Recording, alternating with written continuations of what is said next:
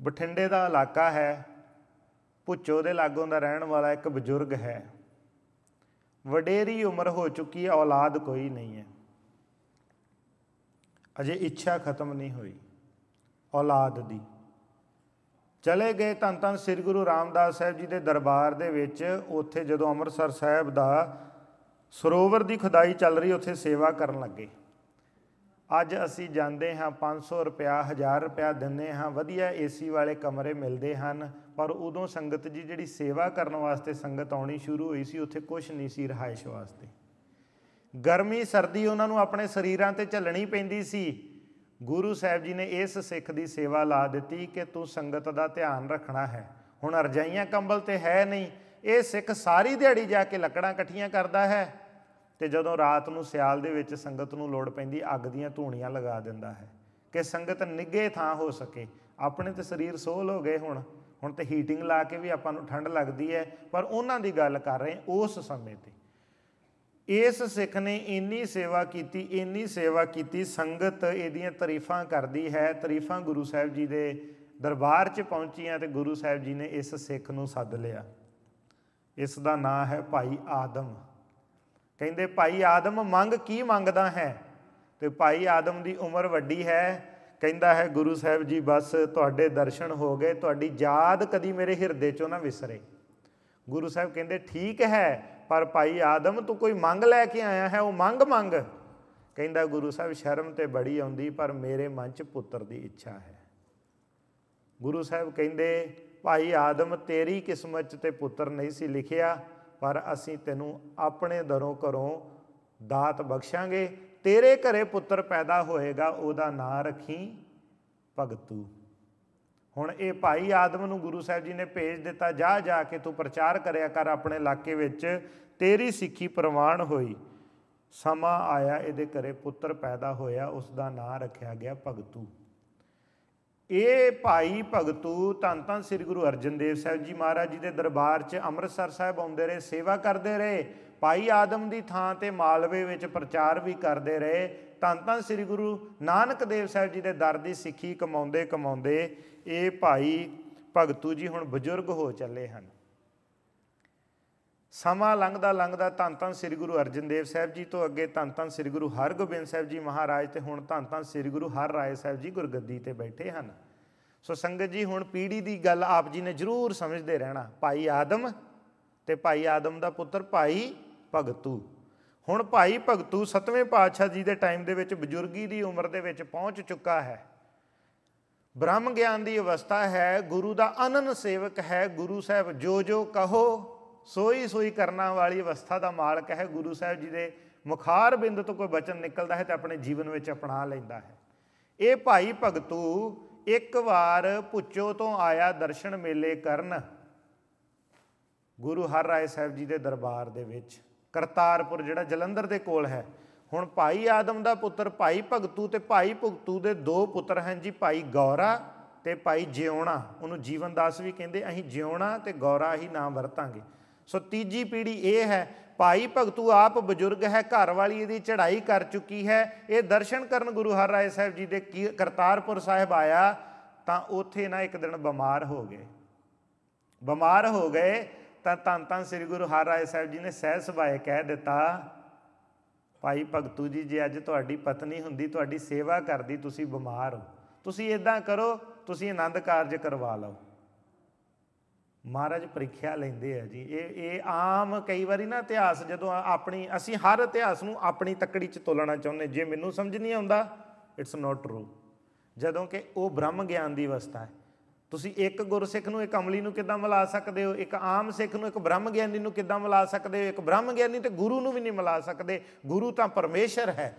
ਹੁਣ ਕੀ ਹੋਇਆ? ਇਹਨਾਂ ਦੇ ਮਨ 'ਚ ਬੈਠ ਗਿਆ ਕਿ ਗੁਰੂ ਸਾਹਿਬ ਜੀ ਨੇ ਮੈਨੂੰ ਹੁਕਮ ਲਾ ਦਿੱਤਾ ਹੈ ਕਿ ਭਾਈ ਭਗਤੂ ਤੂੰ ਵਿਆਹ ਕਰਵਾ ਲੈ। ਹੁਣ ਮੈਂ ਤਾਂ ਸਾਰੀ ਉਮਰ ਗੁਰੂ ਸਾਹਿਬ ਜੀ ਦੀ ਗੱਲ ਮੰਨੀ, ਮੈਂ ਹੁਕਮ ਅਦੂਲੀ ਕਰ ਨਹੀਂ ਸਕਦਾ, ਪਰ ਮੇਰੀ ਤੇ ਉਮਰ ਹੀ ਬੜੀ ਵੱਡੀ ਹੋ ਗਈ, ਹੁਣ ਕਰਾਂ ਤੇ ਕਰਾਂ ਕੀ? ਕਰਤਾਰਪੁਰ ਸਾਹਿਬ ਤੋਂ ਵਾਪਸ ਆਪਣੇ ਇਲਾਕੇ ਆ ਗਏ ਪੁੱਚੂ ਦੇ ਲਾਗੇ। ਮਨ ਦੇ ਵਿੱਚ ਸੋਚਦੇ ਰਹਿੰਦੇ ਹਨ, ਗੁਰੂ ਸਾਹਿਬ ਜੀ ਦਾ ਹੁਕਮ ਹੈ, ਮੰਨਣਾ ਤਾਂ ਹੈ, ਕੀ ਕਰਾਂ ਹੁਣ ਮੈਨੂੰ ਸਮਝ ਨਹੀਂ ਆਉਂਦੀ। ਸੰਗਤ ਜੀ, ਫੇਰ ਚੜ ਕੇ ਘੋੜੇ ਦੇ ਉੱਤੇ ਇੱਕ ਦਿਨ ਨਾ ਕਰਤਾਰਪੁਰ ਸਾਹਿਬ ਜੀ ਨੂੰ ਜਾ ਰਹੇ ਹਨ। ਰਸਤੇ 'ਚ ਪਿੰਡ ਆਇਆ, ਡਿੱਖ ਪਿੰਡ। ਜੇ ਤੁਹਾਡੇ 'ਚ ਕੋਈ ਉਸ ਇਲਾਕੇ ਦਾ ਰਹਿਣ ਵਾਲਾ ਨਾ, ਪੁੱਛੋ ਤੋਂ 20-25 ਕਿਲੋਮੀਟਰ ਦੂਰ ਇੱਕ ਡਿੱਖ ਪਿੰਡ ਹੈ। ਡਿੱਖ ਪਿੰਡ ਦੇ ਵਿੱਚੋਂ ਲੰਘ ਰਹੇ ਹਨ ਇੱਕ ਨੌਜਵਾਨ ਬੱਚੀ, ਫਸਲਾਂ ਦੀ ਰਾਖੀ ਕਰ ਰਹੀ ਹੈ। ਇੱਕ ਮਣਾ ਬੰਨ ਦਿੰਦੇ ਸੀ ਉੱਚੇ ਥਾਂ ਤੇ, ਉਹਦੇ ਉੱਤੇ ਨਾ ਖਲੋਤੀ ਫਸਲਾਂ ਦੀ ਰਾਖੀ ਕਰ ਰਹੀ ਹੈ। ਭਾਈ ਭਗਤੂ ਜੀ ਨੇ ਘੋੜੇ ਤੇ ਚੜੇ ਚੜਾਏ ਆਪਣਾ ਘੋੜਾ ਇਤਿਹਾਸ ਦੇ ਵਿੱਚ ਲਿਖਿਆ ਹੈ, ਚਾਰ ਵਾਰ ਉਸ ਮਣੇ ਦੇ ਦਿਵਾਲੇ ਘੁਮਾ ਲਿਆ। ਉਹ ਬੱਚੀ ਦਾ ਨਾਂ ਹੈ ਵੀਰੋ। ਬੱਚੀ ਪੁੱਛਦੀ, ਬਜ਼ੁਰਗੋ, ਕੀ ਕਰ ਰਹੇ ਹੋ? ਕਹਿੰਦੇ, ਮੇਰੇ ਗੁਰੂ ਦਾ ਹੁਕਮ ਸੀ ਵਿਆਹ ਕਰਾਉਣਾ ਹੈ ਤੇ ਮੇਰਾ ਅੱਜ ਤੋਂ ਹੁਣ ਤੇਰੇ ਨਾਲ ਵਿਆਹ ਹੋ ਗਿਆ। ਕਹਿੰਦੀ, ਤੁਸੀਂ ਹੋ ਕੌਣ? ਕਹਿੰਦੇ, ਮੇਰਾ ਨਾਮ ਭਗਤੂ ਹੈ ਤੇ ਮੈਂ ਪੁੱਚੋ ਦਾ ਰਹਿਣ ਵਾਲਾ ਹਾਂ। ਇਹਨਾਂ ਕਹਿ ਕੇ ਭਾਈ ਭਗਤੂ ਜੀ ਆਪਣੇ ਗੁਰੂ ਦਾ ਹੁਕਮ ਮਨਾ ਕੇ ਤੇ ਆਪ ਉਥੋਂ ਚਲੇ ਗਏ ਜੀ ਕਰਤਾਰਪੁਰ ਸਾਹਿਬ ਨੂੰ। ਬੱਚੀ ਕੋਈ ਭਗਤੀ ਵਾਲੀ ਰੂਹ ਸੀ ਉਸ ਨੇ ਸਿਰ ਨਵਾ ਦਿੱਤਾ ਜਾਂਦਿਆਂ ਨੂੰ। ਹੁਣ ਭਾਈ ਭਗਤੂ ਜੀ ਕਰਤਾਰਪੁਰ ਗਏ, ਉਥੇ ਕੁਝ ਦਿਨ ਟਿਕੇ ਔਰ ਉਥੇ ਹੀ ਸਰੀਰ ਛੱਡ ਗਏ। ਉਥੇ ਹੀ ਸਰੀਰ ਛੱਡ ਗਏ। ਤਨ ਤਨ ਸ੍ਰੀ ਗੁਰੂ ਹਰ ਰਾਏ ਸਾਹਿਬ ਜੀ ਨੇ ਆਪਣੇ ਹੱਥੀ ਸੰਸਕਾਰ ਕੀਤਾ। ਸਿੰਘਾਂ ਕਿਹਾ, ਮਹਾਰਾਜ, ਇਹਦੇ ਤੇ ਦੋ ਪੁੱਤਰ ਹਨ, ਉਹਨਾਂ ਨੂੰ ਬੁਲਾ ਲੈਂਦੇ ਸੰਸਕਾਰ ਕਰਨ ਵਾਸਤੇ। ਮਹਾਰਾਜ ਕਹਿੰਦੇ, ਨਹੀਂ, ਇਹ ਸਾਡਾ ਵੀ ਪੁੱਤਰ ਹੈ, ਅਸੀਂ ਆਪਣੇ ਪੁੱਤਰ ਦਾ ਆਪਣੇ ਹੱਥੀ ਸੰਸਕਾਰ ਕਰਾਂਗੇ। ਭਾਈ ਭਗਤੂ ਦੀ ਸਮਾਦ ਅੱਜ ਤੱਕ ਕਰਤਾਰਪੁਰ ਦੇ ਵਿੱਚ ਹੈ। ਭਾਈ ਭਗਤੂ ਤੋਂ ਬਾਅਦ ਚ ਗੁਰੂ ਸਾਹਿਬ ਜੀ ਨੇ ਉਹਦੇ ਦੋ ਪੁੱਤਰ ਸੀ ਜੀ, ਯਾਦ ਹੈ ਨਾ? ਗੌਰਾ ਤੇ ਜਿਉਣਾ। ਗੌਰੇ ਨੂੰ ਅੱਗੇ ਮਸੰਦ ਥਾਪ ਦਿੱਤਾ, ਇਸ ਇਲਾਕੇ 'ਚ ਪ੍ਰਚਾਰ ਕਰਨ ਵਾਸਤੇ ਥਾਪ ਦਿੱਤਾ। ਭਾਈ ਗੌਰਾ ਇੱਕ ਸੂਰਮਾ ਸਿੰਘ ਸੀ, ਤਕਰੀਬਨ 300 ਘੋੜਸਵਾਰ ਆਪਣੇ ਨਾਲ ਰੱਖਦਾ ਹੁੰਦਾ ਸੀ। ਹੁਣ ਥੋੜੇ ਦਿਨ ਨਿਕਲੇ, ਉਹ ਬੀਬੀ ਵੀਰੋ ਯਾਦ ਹੈ ਜੀ? ਬੱਚੀ, ਉਹਦੇ ਘਰ 'ਚ ਜਦੋਂ ਉਹਦੇ ਵਿਆਹ ਦੀ ਗੱਲ ਚੱਲੀ ਤਾਂ ਉਹ ਆਪਣੇ ਮਾਤਾ ਪਿਤਾ ਨੂੰ ਕਹਿੰਦੀ, ਮੇਰਾ ਤਾਂ ਵਿਆਹ ਹੋ ਚੁੱਕਾ ਹੈ। ਯਾਦ ਹੈ ਬੀਬੀ ਮਮਤਾਜ ਭਾਈ ਬਚਿੱਤਰ ਸਿੰਘ ਜੀ ਵਾਲੀ ਉਹਨੇ ਵੀ ਕਿਹਾ ਸੀ, ਮੇਰਾ ਵਿਆਹ ਹੋ ਚੁੱਕਾ ਹੈ। ਇਹ ਵੀ ਕਹਿੰਦੀ ਹੈ, ਮੇਰਾ ਤਾਂ ਵਿਆਹ ਹੋ ਚੁੱਕਾ ਹੈ। ਕਰਦੇ ਹੈਰਾਨ ਰਹਿ ਗਏ, ਉਹਨੇ ਸਾਰੀ ਬੱਚੀ ਨੇ ਵਿਥਿਆ ਦੱਸ ਦਿੱਤੀ। ਮੈਂ ਮਣੇ ਤੇ ਖੜੀ ਸੀ, ਫਸਲਾਂ ਦੀ ਰਾਖੀ ਕਰਦੀ ਸੀ, ਬਜ਼ੁਰਗ ਆਏ, ਮੈਨੂੰ ਕਹਿੰਦੇ, ਤੇਰਾ ਤੇ ਮੇਰਾ ਵਿਆਹ ਹੋ ਗਿਆ, ਉਹ ਚਲੇ ਗਏ। ਬਸ ਮੈਨੂੰ ਇੰਨਾ ਪਤਾ ਉਹਨਾਂ ਦਾ ਨਾਂ ਭਾਈ ਭਗਤੂ ਸੀ ਤੇ ਉਹ ਪੁੱਚੋ ਦੇ ਰਹਿਣ ਵਾਲੇ ਸੀ, ਮਸ਼ਹੂਰ ਤਾਂ ਸੀ, ਸਾਰੀ ਸੰਗਤ ਸਤਕਾਰ ਕਰਦੀ ਸੀ। ਘਰ ਵਾਲੇ ਸੁਣ ਕੇ ਹੈਰਾਨ ਹੋ ਗਏ, ਇਹ ਕੀ ਹੋ ਗਿਆ? ਹੁਣ ਕਰੀਏ ਤੇ ਕਰੀਏ ਕੀ? ਕਹਿੰਦੇ, ਹੋਰ ਬਜ਼ੁਰਗਾਂ ਸਿਆਣਿਆਂ ਨਾਲ ਪਿੰਡ 'ਚ ਗੱਲ ਕੀਤੀ, ਕਹਿੰਦੇ ਆਪਾਂ ਸਾਰੇ ਪੰਚਾਇਤ ਰੂਪ ਹੋ ਕੇ ਇਕੱਠੇ ਹੋ ਕੇ ਨਾ ਭਾਈ ਭਗਤੂ ਦੇ ਘਰ ਚੱਲੀਏ, ਪੁੱਛੀਏ ਤੇ ਸਹੀ ਗੱਲ ਕੀ ਹੈ? ਇਹ ਸਾਰੇ ਇਕੱਠੇ ਹੋ ਕੇ ਭਾਈ ਭਗਤੂ ਦੇ ਘਰੇ ਆਏ, ਭਾਈ ਭਗਤੂ ਤਾਂ ਘਰੇ ਹੈ ਹੀ ਨਹੀਂ। ਉਹ ਤਾਂ ਸਰੀਰ ਛੱਡ ਚੁੱਕੇ ਹਨ ਕਰਤਾਰਪੁਰ। ਅੱਗੇ ਮੁਲੇ ਪੁੱਤਰ, ਭਾਈ ਗੌਰਾ ਤੇ ਭਾਈ ਜਿਉਣਾ। ਜਦੋਂ ਪੰਚਾਇਤ ਨੇ ਗੱਲ ਦੱਸੀ ਕਿ ਭਾਈ ਭਗਤੂ ਨੇ ਆਪਣਾ ਵਿਆਹ ਕਰ ਲਿਆ ਇਸ ਬੱਚੀ ਦੇ ਨਾਲ, ਬੀਬੀ ਵੀਰੋ ਦੇ ਨਾਲ, ਹੁਣ ਇਹ ਵੀ ਸੁਣ ਕੇ ਹੈਰਾਨ ਹੋ ਗਏ। ਪਰ ਕਿਉਂ? ਕਿਉਂਕਿ ਸ਼ਰਧਾ ਵਾਲੇ ਸੀ। ਇਹਨਾਂ ਨੂੰ ਪਤਾ ਸੀ ਸਾਡੇ ਪਿਤਾ ਦੀ ਹਸਤੀ ਕੀ ਸੀ। ਕਹਿੰਦੇ, ਜੇ ਸਾਡੇ ਪਿਤਾ ਨੇ ਇਹਦੇ ਨਾਲ ਵਿਆਹ ਕੀਤਾ ਹੈ, ਤਾਂ ਜ਼ਰੂਰ ਕੋਈ ਕਾਰਨ ਹੋਵੇਗਾ। ਅਸੀਂ ਸਿਰ ਝੁਕਾਉਂਦੇ ਹਾਂ। ਇਸ ਬੀਬੀ ਵੀਰੋ ਨੂੰ ਆਪ ਹੁਣ ਇਹਨਾਂ ਦੀ ਵੱਡੀ ਉਮਰ ਹੈ ਤੇ ਬੀਬੀ ਵੀਰੋ ਛੋਟੀ ਉਮਰ ਦੀ ਹੈ। ਕਹਿੰਦੇ ਅਸੀਂ ਬੀਬੀ ਵੀਰੋ ਨੂੰ ਇਸ ਘਰ ਵਿੱਚ ਆਪਣੀ ਮਾਂ ਬਣਾ ਕੇ ਲੈ ਕੇ ਆਵਾਂਗੇ ਤੇ ਮਾਂ ਦਾ ਹਰ ਹੱਕ ਦਵਾਂਗੇ। ਇਹ ਦੋਵੇਂ ਭਰਾ ਗਏ ਹਨ ਜੀ। ਬੀਬੀ ਵੀਰੋ ਨੂੰ ਲਿਜਾਣ ਵਾਸਤੇ ਇਤਿਹਾਸ 'ਚ ਲਿਖਿਆ ਹੈ, ਪਾਲਕੀ 'ਚ ਜਿਵੇਂ ਲੈ ਕੇ ਆਉਂਦੇ ਸੀ, ਉਸ ਵੇਲੇ ਬਰਾਤਾਂ ਆਉਂਦੀਆਂ ਸਨ, ਡੋਲੀਆਂ ਆਉਂਦੀਆਂ ਸਨ। ਆਪਣੀ ਇਸ ਨੌਜਵਾਨ ਮਾਤਾ ਨੂੰ ਬਿਠਾ ਕੇ ਲੈ ਕੇ ਆਏ, ਘਰ ਵਿੱਚ ਬਿਠਾ ਕੇ ਨਮਸਕਾਰ ਕਰ ਦਿੱਤੀ। ਕਹਿੰਦੇ, ਅੱਜ ਤੋਂ ਤੇਰਾ ਹੀ ਹੁਕਮ ਇਸ ਘਰ 'ਚ ਚੱਲੇਗਾ। ਤੂੰ ਸਾਡੀ ਮਾਂ ਹੈ। ਬੀਬੀ ਵੀਰੋ ਵੀ ਭਗਤੀ ਵਾਲੀ ਰੂਹ ਸੀ। ਉਸ ਘਰ ਦੇ ਵਿੱਚ ਲੰਮੀ ਉਮਰ ਰਹਿ ਕੇ ਸਾਰਾ ਉਹਨੇ ਰਾਜ ਕੀਤਾ ਕਹਿ ਲੋ ਅੱਗੇ ਦੇਖਣਾ ਤੁਸੀਂ ਪਰਿਵਾਰ ਕਿੱਦਾਂ ਵਾਧਾ ਫੁੱਲਦਾ ਹੈ, ਕੀ ਹਾਲਾਤ ਅੱਗੇ ਬਣਦੇ ਹਨ। ਸੰਗਤ ਜੀ, ਸਮਾਂ ਨਿਕਲਦਾ ਜਾਂਦਾ ਹੈ। ਭਾਈ ਗੌਰਾ ਤੇ ਭਾਈ ਜਿਉਣਾ ਬੀਬੀ ਵੀਰੋ ਨੂੰ ਆਪਣੀ ਮਾਤਾ ਕਰਕੇ ਮੰਨਦੇ ਹਨ। ਸਮਾਂ ਆਇਆ ਫਿਰ ਧੰਨ ਧੰਨ ਸ੍ਰੀ ਗੁਰੂ ਹਰ ਰਾਏ ਸਾਹਿਬ ਜੀ ਨਾ ਇਸ ਇਲਾਕੇ ਵਿੱਚ ਆਏ। ਜਦੋਂ ਤੁਸੀਂ ਬਠਿੰਡੇ ਤੋਂ ਅੰਮ੍ਰਿਤਸਰ ਵਾਲੇ ਨਵੇਂ ਹਾਈਵੇ ਤੇ ਚੱਲਦੇ ਹੋ ਨਾ, ਉਹਦੇ ਉੱਤੇ ਕਦੀ ਪੜਨਾ ਉੱਥੇ ਇੱਕ ਪਿੰਡ ਆਉਂਦਾ ਹੈ ਹਰ ਰਾਏਪੁਰ ਹੁਣ ਉਹਦਾ ਨਾਂ ਸਤਵੇਂ ਪਾਤਸ਼ਾਹ ਜੀ ਦੇ ਚਰਨ ਮੁਬਾਰਕ ਉੱਥੇ ਪੈਣ ਕਰਕੇ ਹਰ ਰਾਏਪੁਰ ਹੈ। ਉਸ ਸਮੇਂ ਉਸ ਪਿੰਡ ਦਾ ਨਾਂ ਭੋਖੜੀ ਸੀ, ਭੋਖੜੀ, ਭੋਂ ਦੀ ਜ਼ਮੀਨ ਖੜੀ ਖਲੋ ਜਾਣਾ। ਤਨ ਤਨ ਸ੍ਰੀ ਗੁਰੂ ਹਰ ਰਾਏ ਸਾਹਿਬ ਜੀ ਜਦੋਂ ਆਏ ਨਾ ਉੱਥੇ, ਤਾਂ ਬੀਬੀ ਵੀਰੋ ਕਹਿੰਦੀ ਪੁੱਤ ਜਸਿਆ ਪੁੱਤ ਜਿਉਣਿਆ ਤੇ ਗੌਰਿਆ ਚੱਲ ਚੱਲੀਏ ਜਾ ਕੇ ਗੁਰੂ ਸਾਹਿਬ ਜੀ ਦੇ ਦਰਸ਼ਨ ਕਰਕੇ ਆਈਏ, ਗੁਰੂ ਸਾਹਿਬ ਇਲਾਕੇ ਚ ਆਏ ਹਨ। ਸੋ ਇਹ ਮਾਤਾ ਦੇ ਨਾਲ ਗੁਰੂ ਸਾਹਿਬ ਜੀ ਦੇ ਦਰਸ਼ਨ ਕਰਨ ਗਏ। ਸੰਗਤ ਜੀ, ਗੁਰੂ ਸਾਹਿਬ ਜਦੋਂ ਦੀਵਾਨ ਸਜਦੇ ਗੁਰੂ ਸਾਹਿਬ ਜੀ ਦਾ ਇੱਕ ਚੌਰ ਬਰਦਾਰ ਸਿੰਘ ਸੀ, ਭਾਈ ਜੱਸਾ। ਜਿਹੜਾ ਭਾਈ ਭਗਤੂ ਦਾ ਹੀ ਗੁਰ ਭਾਈ ਸੀ, ਭਾਈ ਭਗਤੂ ਦੇ ਨਾਲ ਸਨੇਹ ਰੱਖਦਾ ਸੀ। ਹੁਣ ਸੰਗਤ ਦੇ ਵਿੱਚ ਉਸ ਨੇ ਬੀਬੀ ਵੀਰੋ ਨੂੰ ਦੇਖ ਲਿਆ ਇੱਕ ਦਿਨ ਕੀ ਹੋਇਆ? ਬਾਹਰ ਬੈਠੇ ਹਨ। ਭਾਈ ਗੌਰੇ ਦੇ ਨਾਲ ਬੈਠੇ ਹਨ। ਤਾਂ ਉਹਨੇ ਕਹਿ ਦਿੱਤਾ ਕਿ ਮੈਂ ਭਾਈ ਭਗਤੂ ਦਾ ਗੁਰ ਭਾਈ ਹਾਂ, ਭਾਈ ਗੌਰਿਆ। ਤੇ ਇਹ ਬੀਬੀ ਵੀਰੋ, ਤੁਸੀਂ ਇਹਦੇ ਨਾਲ ਮੇਰਾ ਵਿਆਹ ਕਰ ਦਵੋ। ਹੁਣ ਸੰਗਤ ਜੀ, ਭਾਈ ਭਾਈ ਜੱਸੇ ਨੇ ਕੋਈ ਬਹੁਤੀ ਗਲਤ ਗੱਲ ਨਹੀਂ ਸੀ ਕੀਤੀ। ਆਪਾਂ ਗੁਰੂ ਅਮਰਦਾਸ ਜੀ ਨੇ ਯਾਦ ਰੱਖਣਾ ਸਤੀਆਂ ਹੁੰਦੀਆਂ ਸੀ, ਬੀਬੀਆਂ ਨਾਲ ਸੜ ਕੇ ਮਰਨਾ ਪੈਂਦਾ ਸੀ। ਵਿਧਵਾ ਦਾ ਵਿਆਹ ਨਹੀਂ ਹੁੰਦਾ ਸੀ, ਇਹ ਔਰਤ ਨੂੰ ਹੱਕ ਦਿੱਤਾ ਧੰਨ ਧੰਨ ਸ੍ਰੀ ਗੁਰੂ ਅਮਰਦਾਸ ਸਾਹਿਬ ਜੀ ਨੇ ਗੋਇੰਦਵਾਲ ਸਾਹਿਬ ਤੋਂ ਕਿ ਜੇ ਕੋਈ ਵਿਧਵਾ ਨੌਜਵਾਨੀ ਚ ਹੋ ਜਾਂਦੀ, ਉਹਦਾ ਅਪਰੋਪਰੀਏਟ ਵਰ ਲੱਭ ਕੇ ਉਹਦਾ ਵਿਆਹ ਕਰ ਦਿੱਤਾ ਜਾਵੇ। ਹੁਣ ਭਾਈ ਜੱਸੇ ਨੇ ਜਦੋਂ ਇਹ ਗੱਲ ਕਹਿ ਦਿੱਤੀ, ਗੱਲ ਤਾਂ ਕਹਿ ਦਿੱਤੀ, ਪਰ ਭਾਈ ਗੌਰੇ ਦੀ ਕੀ ਹੈ ਜੀ, ਉਹ ਮਾਂ ਹੈ। ਉਹਨੇ ਸੋਚਿਆ ਮੇਰੀ ਮਾਂ ਨੂੰ ਇਹਨੇ ਮਖੌਲ ਕੀਤਾ ਹੈ, ਭਾਈ ਗੌਰੇ ਨੂੰ ਗੁੱਸਾ ਚੜ ਗਿਆ। ਕਹਿੰਦਾ ਹੁਣ ਤੇ ਨਹੀਂ, ਪਰ ਇਸ ਭਾਈ ਜੱਸੇ ਤੋਂ ਬਦਲਾ ਲੈਣਾ ਹੈ। ਸੰਗਤ ਜੀ, ਇਹ ਪਿੰਡ ਜਿਹੜਾ ਹੀ ਨਾ ਹੁਣ, ਜਿਹੜਾ ਹਰ ਰਾਏਪੁਰ ਤੇ ਜੰਡਾਂ ਵਾਲਾ ਪਿੰਡ ਹੈ ਇਹਦੇ ਵਿੱਚ ਇੱਕ ਥੇ ਸੀਗਾ। ਭਾਈ ਜੱਸਾ ਜਦੋਂ ਸਵੇਰੇ ਸਵੇਰੇ ਉਧਰ ਗਿਆ ਜੰਗਲ ਪਾਣੀ ਵਾਸਤੇ, ਤੇ ਭਾਈ ਗੌਰੇ ਨੇ ਆਪਣੇ ਸਾਥੀਆਂ ਸਮੇਤ ਭਾਈ ਜੱਸੇ ਦਾ ਕਤਲ ਕਰ ਦਿੱਤਾ। ਦਿਨ ਚੜਿਆ ਧੰਨ ਧੰਨ ਸ੍ਰੀ ਗੁਰੂ ਹਰ ਰਾਏ ਸਾਹਿਬ ਕੋਲ ਖਬਰ ਪਹੁੰਚੀ ਕਿ ਚੌਰ ਬਰਦਾਰ ਸਿੰਘ ਭਾਈ ਜੱਸੇ ਨੂੰ ਭਾਈ ਗੌਰੇ ਨੇ ਮਾਰ ਦਿੱਤਾ ਹੈ। ਤਾਂ ਤਾਂ ਸ੍ਰੀ ਗੁਰੂ ਹਰ ਰਾਏ ਸਾਹਿਬ ਜੀ ਕਹਿੰਦੇ ਗੌਰੇ ਨੇ ਬਹੁਤ ਮਾੜਾ ਕੀਤਾ ਹੈ। ਹੁਕਮ ਲਾ ਦਿੱਤਾ ਭਾਈ ਗੌਰਾ ਅੱਜ ਤੋਂ ਸਾਡੇ ਮੱਥੇ ਨਾ ਲੱਗੇ।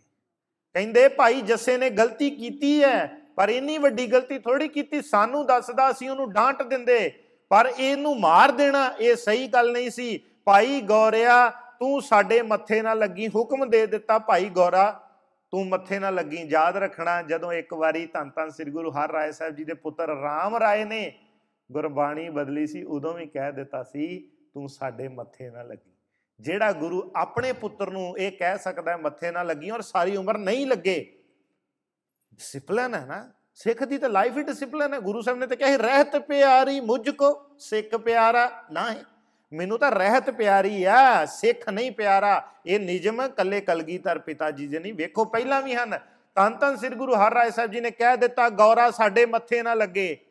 ਹੁਣ ਭਾਈ ਗੌਰਾ ਯਾਦ ਕਰੋ, ਭਾਈ ਆਦਮ, ਉਹਦਾ ਪੁੱਤਰ ਭਾਈ ਭਗਤੂ, ਫਿਰ ਉਹਦਾ ਪੁੱਤਰ ਭਾਈ ਗੌਰਾ ਤੇ ਜੀਵਨ। ਹੁਣ ਭਾਈ ਗੌਰਾ ਕਿਦਾਂ ਇਸ ਗੱਲ ਨੂੰ ਛੱਡ ਸਕਦਾ ਹੈ? ਹੁਣ ਮਗਰ ਮਗਰ ਰਹਿੰਦਾ ਹੈ। ਗੁਰੂ ਸਾਹਿਬ ਜੀ ਦਾ ਕਾਫਲਾ ਅੱਗੇ ਚੱਲਦਾ ਹੈ। ਇਹ ਇੱਕ ਦੋ ਮੀਲ ਪਿੱਛੇ ਰਹਿੰਦਾ ਹੈ, ਸੇਵਾ ਕਰਦਾ ਰਹਿੰਦਾ ਹੈ। ਗੁਰੂ ਤੋਂ ਮੁਖ ਨਹੀਂ ਮੋੜ ਕੇ ਆਇਆ। ਪਰ ਕਹਿੰਦਾ ਗੁਰੂ ਸਾਹਿਬ ਜੀ ਦਾ ਹੁਕਮ ਵੀ ਹੈ ਕਿ ਮੱਥੇ ਨਹੀਂ ਲੱਗਣਾ, ਹੁਣ ਉਹਨਾਂ ਚਿਰ ਚੱਲਦਾ ਰਹੇਗਾ। ਇਸ ਗੱਲ ਨੂੰ ਇੱਥੇ ਪੌਜ਼ ਕਰੋ। ਦੂਜੇ ਭਰਾ ਦੀ ਥੋੜੀ ਜੀ ਗੱਲ ਸੁਣਾਦੀ ਭਾਈ ਜਿਉਣੇ ਦੀ। ਭਾਈ ਜਿਉਣਾ ਇੱਕ ਵਾਰ ਧੰਨ ਧੰਨ ਸ੍ਰੀ ਗੁਰੂ ਹਰਿਰਾਏ ਸਾਹਿਬ ਜੀ ਦੇ ਦਰਸ਼ਨ ਕਰਨ ਕਰਤਾਰਪੁਰ ਸਾਹਿਬ ਗਿਆ। ਉੱਥੇ ਗੁਰੂ ਹਰ ਰਾਏ ਸਾਹਿਬ ਜੀ ਦਾ ਤੁਹਾਨੂੰ ਯਾਦ ਹੋਏਗਾ ਧੀਰਮਲ ਧੀਰਮਲ ਨਾਲ ਆਪਣਾ ਨੂੰ ਮਨਾ ਮਰਾਂ ਵੀ ਕੀਤਾ ਗੁਰੂ ਸਾਹਿਬ ਨੇ, ਨਹੀਂ, ਕਿਉਂਕਿ ਉਹ ਗੁਰੂ ਗੱਦੀ ਦਾ ਵਿਰੋਧ ਕਰਦੇ ਸਨ। ਧੀਰਮਲ ਉੱਥੇ ਜਦੋਂ ਗੁਰੂ ਸਾਹਿਬ ਜੀ ਗਏ, ਤਾਂ ਉੱਥੇ ਇੱਕ ਬ੍ਰਾਹਮਣ ਬ੍ਰਾਹਮਣੀ ਸੀ, ਜਿਨ੍ਹਾਂ ਦਾ ਪੁੱਤਰ ਨੌਜਵਾਨ ਚੜ੍ਹਾਈ ਕਰ ਗਿਆ। ਧੀਰਮਲ ਨੇ ਉਹਨਾਂ ਨੂੰ ਚੁੱਕ ਦਿੱਤਾ, ਕਹਿੰਦਾ, ਜੇ ਇਹ ਗੁਰੂ ਸੱਚੇ ਹਨ, ਤਾਂ ਇਹ ਜਿੰਦੇ ਕਰਨਗੇ, ਤੁਸੀਂ ਜਾਓ ਗੁਰੂ ਕੋਲ, ਗੁਰੂ ਹਰ ਰਾਏ ਸਾਹਿਬ ਜੀ ਨੂੰ ਕਹੋ, ਪੁੱਤਰ ਜਿਉਂਦਾ ਕਰ ਦਵੇ। ਚਲਾਕੀ ਇਹ ਖੇਡੀ, ਜੇ ਪੁੱਤਰ ਜਿਉਂਦਾ ਕਰਨਗੇ, ਅਸੀਂ ਕਵਾਂਗੇ ਕਰਾਮਾਤਾਂ ਦਿਖਾਉਂਦੇ ਹਨ। ਤੇ ਜੇ ਪੁੱਤਰ ਜਿਉਂਦਾ ਨਾ ਦਿਖਾਉ, ਕਰਨਗੇ, ਤਾਂ ਫਿਰ ਅਸੀਂ ਕਵਾਂਗੇ ਨਾ ਕੋਈ ਕੋਈ ਸ਼ਕਤੀ ਹੀ ਨਹੀਂ ਗੁਰੂ ਹਰਿਰਾਏ ਸਾਹਿਬ ਜੀ ਦੇ ਦਰਬਾਰ 'ਚੋਂ ਆਪਣੇ ਪੁੱਤਰ ਨੂੰ ਲੈ ਕੇ ਆ ਗਏ, ਕਹਿੰਦੇ, ਪੁੱਤਰ, ਸਾਡਾ ਜਿਉਂਦਾ ਕਰ ਦੋ, ਨਹੀਂ ਸੀ ਅਸੀਂ ਵੀ ਮਰ ਜਾਣਾ ਹੈ। ਗੁਰੂ ਹਰਿਰਾਏ ਸਾਹਿਬ ਜੀ ਨੇ ਬਹੁਤ ਸਮਝਾਇਆ, ਇਹ ਪਰਮੇਸ਼ਰ ਦੀ ਦਰਗਾਹ ਹੀ ਹੁਕਮ ਹੈ। ਕਦੋਂ ਆਉਣਾ, ਕਿਸੇ ਨੇ ਕਦੋਂ ਜਾਣਾ ਇਹ ਇਹ ਤੁਸੀਂ ਇਹਦੇ ਵਿੱਚ ਖਿਆਨਤ ਨਾ ਕਰੋ। ਪਰ ਉਹ ਦੋਵੇਂ ਜਾਣੇ ਪਿੱਛੋਂ ਚੁੱਕੇ ਆਏ, ਨਹੀਂ ਮੰਨੇ। ਅਖੀਰ ਗੁਰੂ ਸਾਹਿਬ ਕਹਿੰਦੇ, ਠੀਕ ਹੈ ਭਾਈ, ਜੇ ਤੁਸੀਂ ਪੁੱਤਰ ਜਿਉਂਦਾ ਕਰਨਾ ਚਾਹੁੰਦੇ, ਇਹਦੇ ਬਦਲੇ ਕਿਸੇ ਹੋਰ ਨੂੰ ਜਾਣਾ ਪਏਗਾ।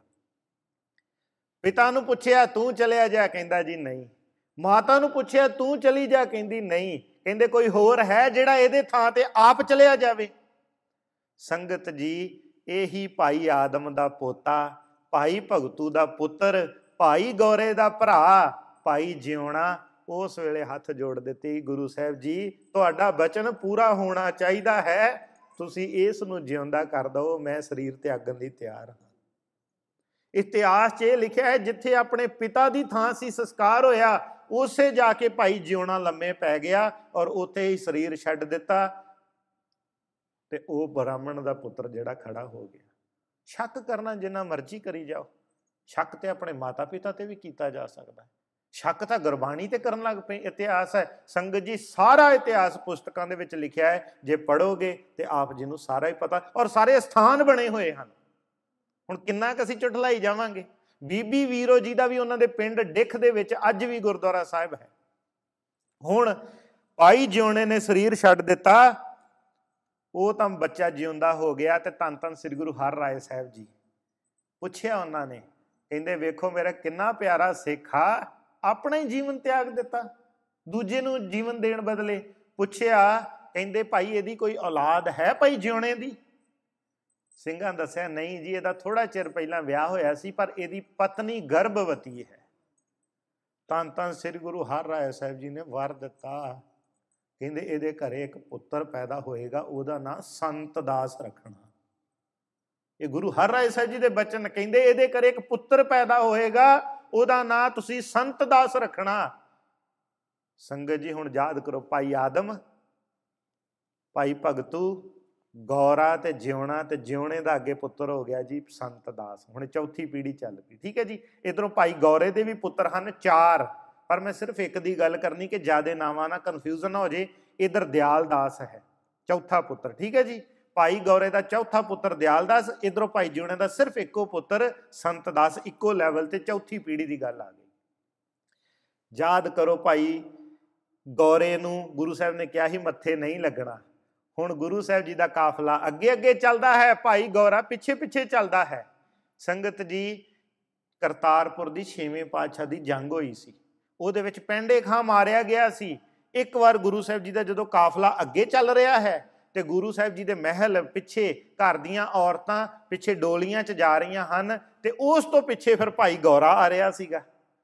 ਮੁਗਲਾਂ ਨੇ ਨਾ ਔਰਤਾਂ ਦੇ ਡੋਲਿਆਂ ਦੇ ਉੱਤੇ ਹਮਲਾ ਕਰ ਦਿੱਤਾ। ਹੁਣ ਗੁਰੂ ਸਾਹਿਬ ਜੀ ਤੇ ਅੱਗੇ ਹਨ 2200 ਘੋੜਸਵਾਰ ਅੱਗੇ ਆ ਇਹ ਪਿੱਛੇ ਹਨ ਕੋਟਸ਼ ਨਾਲ ਥੋੜੇ ਜਿਹੇ ਸਿੰਘ ਹਨ, ਡੋਲਿਆਂ ਦੀ ਰਾਖੀ ਨੂੰ, ਪਰ ਭਾਈ ਗੌਰੇ ਦੇ ਨਾਲ 300 ਘੋੜਸਵਾਰ ਆਪਣਾ ਹੁੰਦਾ ਸੀ। ਭਾਈ ਗੌਰੇ ਨੇ ਉਸੇ ਵੇਲੇ ਕਮਾਨ ਸੰਭਾਲੀ ਮੁਗਲਾਂ ਨਾਲ ਲੜਾਈ ਕੀਤੀ, ਮੁਗਲ ਦੜਾ ਦਿੱਤੇ। ਜਦੋਂ ਇਹ ਖਬਰ ਤਨ ਤਨ ਸ੍ਰੀ ਗੁਰੂ ਹਰ ਰਾਏ ਸਾਹਿਬ ਕੋ ਵੇਖੋ, ਕਰਤਾ ਖੇਡਾਂ ਸਾਰੀਆਂ ਆਪ ਹੀ ਰਚਾਉਂਦਾ ਹੈ। ਗਲਤੀ ਜੇ ਕੀਤੀ, ਹੁਣ ਪੁੱਤਰ ਨੂੰ ਮਾਫ ਵੀ ਕਰਨਾ ਹੈ। ਯਾਦ ਰੱਖਣਾ, ਦੁਨਿਆਵੀ ਪਿਤਾ ਦਾ ਵੀ ਜਦੋਂ ਪੁੱਤਰ ਕਿਤੇ ਰੁੱਸ ਜਾਂਦਾ ਹੈ ਨਾ, ਤੇ ਪਿਤਾ ਬਾਨੇ ਲੱਭਦਾ ਹੁਣ ਕਿਸੇ ਤਰੀਕੇ ਮਾਫੀ ਮੰਗ ਲਵੇ, ਇੱਕ ਵਾਰੀ ਕਹਿ ਦੇ, ਮਾਫੀ ਤੇ ਮੈਂ ਇਹਨੂੰ ਮਾਫ ਕਰ ਦਵਾਂ। ਹੁੰਦਾ ਹੈ ਕਿ ਨਹੀਂ ਹੁੰਦਾ? ਆਪਾਂ ਪੜ੍ਹਦੇ ਨਾ ਗੁਰਬਾਣੀ ਚ ਕਰ ਉਪਦੇਸ਼ ਝਿੜਕੇ ਬਹੁ ਪਾਂਤੀ ਬਹੁੜ ਪਿਤਾ ਗਲ ਲਾਵੇ। ਅਹੀਂ ਤੇ ਕਰਦੇ ਨਾ ਅਰਦਾਸਾਂ ਰਾਮਈਆ ਹਉ ਬਾਰਕ ਤੇਰਾ, ਕਾਹੇ ਨ ਖੰਡ ਸੇ ਅਵਗਣ ਮੇਰਾ। ਵਾਹਿਗੁਰੂ ਕਿਉਂ ਨਹੀਂ ਮੇਰੇ ਔਗਣ ਬਖਸ਼ਦਾ? ਹੁਣੇ ਭਾਈ ਗੌਰੇ ਨੇ ਜੰਗ ਜਿੱਤ ਲਈ, ਗੁਰੂ ਹਰ ਰਾਏ ਸਾਹਿਬ ਜੀ ਨੂੰ ਜਦੋਂ ਖਬਰ ਪਹੁੰਚੀ, ਤਾਂ ਉਸੇ ਵੇਲੇ ਹੁਕਮ ਦਿੱਤਾ ਭਾਈ ਗੌਰਾ ਹਾਜ਼ਰ ਹੋਵੇ। ਜਿਹਨੂੰ ਕਿਹਾ ਸੀ, ਮੱਥੇ ਨਾ ਲੱਗੀ, ਅੱਜ ਕਹਿ ਦਿੱਤਾ, ਹਾਜ਼ਰ ਹੋਵੇ। ਸਾਰੇ ਗੁਨਾਹ ਮਾਫ। ਤੇਰੇ ਸਾਰੇ ਗੁਨਾਹ ਮਾਫ। ਜਾ ਭਾਈ ਗੌਰਿਆ, ਤੂੰ ਵੀ ਆਪਣੇ ਪਿੰਡ ਚਲਿਆ ਜਾ, ਉੱਥੇ ਜਾ ਕੇ ਪ੍ਰਚਾਰ ਕਰ। ਭਾਈ ਗੌਰੇ ਨੂੰ ਵਰ ਦਿੱਤਾ ਔਰ ਸੰਗਤ ਜੀ, ਭਾਈ ਗੌਰੇ ਦੀ ਔਲਾਦ ਅੱਗੇ ਜਾ ਕੇ ਕੈਂਥਲ ਦੀ ਜਿਹੜੀ ਰਿਆਸਤ ਹੋਈ ਹੈ, ਉੱਥੇ ਰਾਜੇ ਬਣਦੇ ਹਨ। ਗੁਰੂ ਦੇ ਵਰ ਵੇਖੋ ਕਿੱਥੇ ਲੈ ਜਾਂਦੇ ਗੁਰੂ ਸਾਹਿਬ ਜੀ ਦੇ ਵਰ ਵੇਖੋ ਕਿੱਥੇ ਲੈ ਕੇ ਜਾਂਦੇ ਹਨ। ਭਾਈ ਗੌਰੇ ਦੀ ਹੀ ਔਲਾਦ ਅੱਗੇ ਕੈਂਥਲ ਤੇ ਜਾ ਕੇ ਰਾਜ ਕਰਦੀ ਹੈ, ਸਮਾਂ ਪਾ ਕੇ ਤੇ ਸੰਗਤ ਜੀ, ਹੁਣ ਯਾਦ ਰੱਖੀਏ ਫੇਰ, ਭਾਈ ਆਦਮ, ਭਾਈ ਭਗਤੂ, ਭਾਈ ਗੌਰਾ ਤੇ ਭਾਈ ਜਿਉਣਾ। ਤੀਜੀ ਪੀੜ੍ਹੀ, ਚੌਥੀ ਪੀੜ੍ਹੀ 'ਚ ਹੁਣ ਦਿਆਲਦਾਸ ਤੇ ਸੰਤਦਾਸ ਆ ਗਏ ਜੀ। ਠੀਕ ਹੈ ਜੀ? ਚੌਥੀ ਪੀੜ੍ਹੀ ਹੁਣ ਦਿਆਲਦਾਸ ਜੀ ਦੀ ਗੱਲ ਥੋੜੀ ਅੱਗੇ ਕਰਦੇ ਹਾਂ। ਪਹਿਲਾਂ ਇਹ ਗੱਲ ਸਮਝ ਲਓ ਕਿ ਚੌਥੀ ਪੀੜ੍ਹੀ ਜਿਹੜੇ ਸੰਤ ਦਾਸ ਸੀ, ਇਹਨਾਂ ਦੇ ਚਾਰ ਪੁੱਤਰ ਹਨ ਜੀ, ਰਾਮ ਰਾਮ ਮੈਂ ਸਿੰਘ ਵਾਲਾ ਹੀ ਨਾਂ ਲੈ ਲੈਣਾ, ਅਜੇ ਇਹਨਾਂ ਨੇ ਅੰਮ੍ਰਿਤ ਨਹੀਂ ਸੀ ਛਕਿਆ। ਰਾਮ ਸਿੰਘ, ਫਤਿਹ ਸਿੰਘ, ਤਖਤੂ ਸਿੰਘ ਤੇ ਬਖਤੂ ਸਿੰਘ, ਚਾਰ ਭਰਾ। ਇਹ ਸੰਤ ਦਾਸ ਜੀ ਦੇ ਹੁਣ ਯਾਦ ਰੱਖਣਾ, ਤਿੰਨ ਵਿਆਹ ਹੋਏ ਸੀ। ਇੱਕ ਔਲਾਦ, ਇੱਕ ਪਤਨੀ ਤੋਂ ਦੋ ਔਲਾਦਾਂ, ਵਿਚਲੀ ਜਿਹੜੀ ਪਤਨੀ ਸੀ ਉਹ ਤੋਂ ਕੋਈ ਔਲਾਦ ਨਹੀਂ, ਤੇ ਤੀਜੀ ਪਤਨੀ ਤੋਂ ਇਹਨਾਂ ਦੀ ਫੇਰ ਦੋ ਔਲਾਦਾਂ। ਰਾਮ ਸਿੰਘ ਤੇ ਫਤਿਹ ਸਿੰਘ ਇੱਕ ਭਰਾ, ਬਖਤੂ ਸਿੰਘ ਤੇ ਤਖਤੂ ਸਿੰਘ ਇੱਕ ਭਰਾ। ਹੁਣ ਵੇਖੋ, ਸਮਾਂ ਨਿਕਲਦਾ ਗਿਆ ਸੰਗਤ ਜੀ, ਕਲਗੀਧਰ ਪਿਤਾ ਜੀ ਦਾ ਸਮਾਂ ਆ ਗਿਆ। ਕਲਗੀਧਰ ਪਿਤਾ ਜੀ ਦਾ ਸਮਾਂ ਆ ਗਿਆ। ਭਾਈ ਗੌਰਾ ਜਿਉਣਾ ਦੁਨੀਆ ਤੋਂ ਜਾ ਚੁੱਕੇ ਹਨ। ਭਾਈ ਗੌਰੇ ਦਾ ਪੁੱਤਰ ਦਿਆਲਦਾਸ ਉਸ ਵੇਲੇ ਹੈ। ਸੰਤ ਦਾਸ ਉਸ ਵੇਲੇ ਜਾ ਚੁੱਕੇ ਹਨ। ਤੇ ਉਹ ਇਧਰੋਂ, ਕਿਉਂਕਿ ਇੱਕ ਪੀੜ੍ਹੀ ਅੱਗੇ ਹੋ ਗਈ, ਹੁਣ ਇਹ ਚਾਚੇ ਭਤੀਜਿਆਂ ਦੀ ਰਿਸ਼ਤਾ ਹੋ ਗਿਆ। ਇਧਰੋਂ ਚਾਚਾ ਹੈ ਦਿਆਲਦਾਸ ਤੇ ਇਹ ਚਾਰ ਉਹਦੇ ਭਤੀਜੇ ਹਨ, ਰਾਮ ਸਿੰਘ, ਫਤਿਹ ਸਿੰਘ, ਬਖਤੂ ਸਿੰਘ, ਤਖਤੂ ਸਿੰਘ। ਤਾਂ ਤਾਂ ਸ੍ਰੀ ਗੁਰੂ ਗੋਬਿੰਦ ਸਿੰਘ ਸਾਹਿਬ ਜੀ ਮਹਾਰਾਜ ਜਦੋਂ ਆਨੰਦਪੁਰ ਸਾਹਿਬ ਜੀ ਨੂੰ ਛੱਡਦੇ ਹਨ, ਇੰਨੀਆਂ ਔਕੜਾਂ ਚੱਲਦੇ ਚਮਕੌਰ ਦੀਆਂ ਜੰਗਾਂ, ਮਾਛੀਵਾੜੇ ਲੰਘਦੇ, ਰਾਏਕੋਟ ਪੁੱਤਰਾਂ ਦੇ ਸ਼ਹੀਦੀ ਦੀਆਂ ਖਬਰਾਂ ਪਾਉਂਦੇ, ਦੀਨੇ ਕਾਂਗੜ ਪਹੁੰਚ ਗਏ।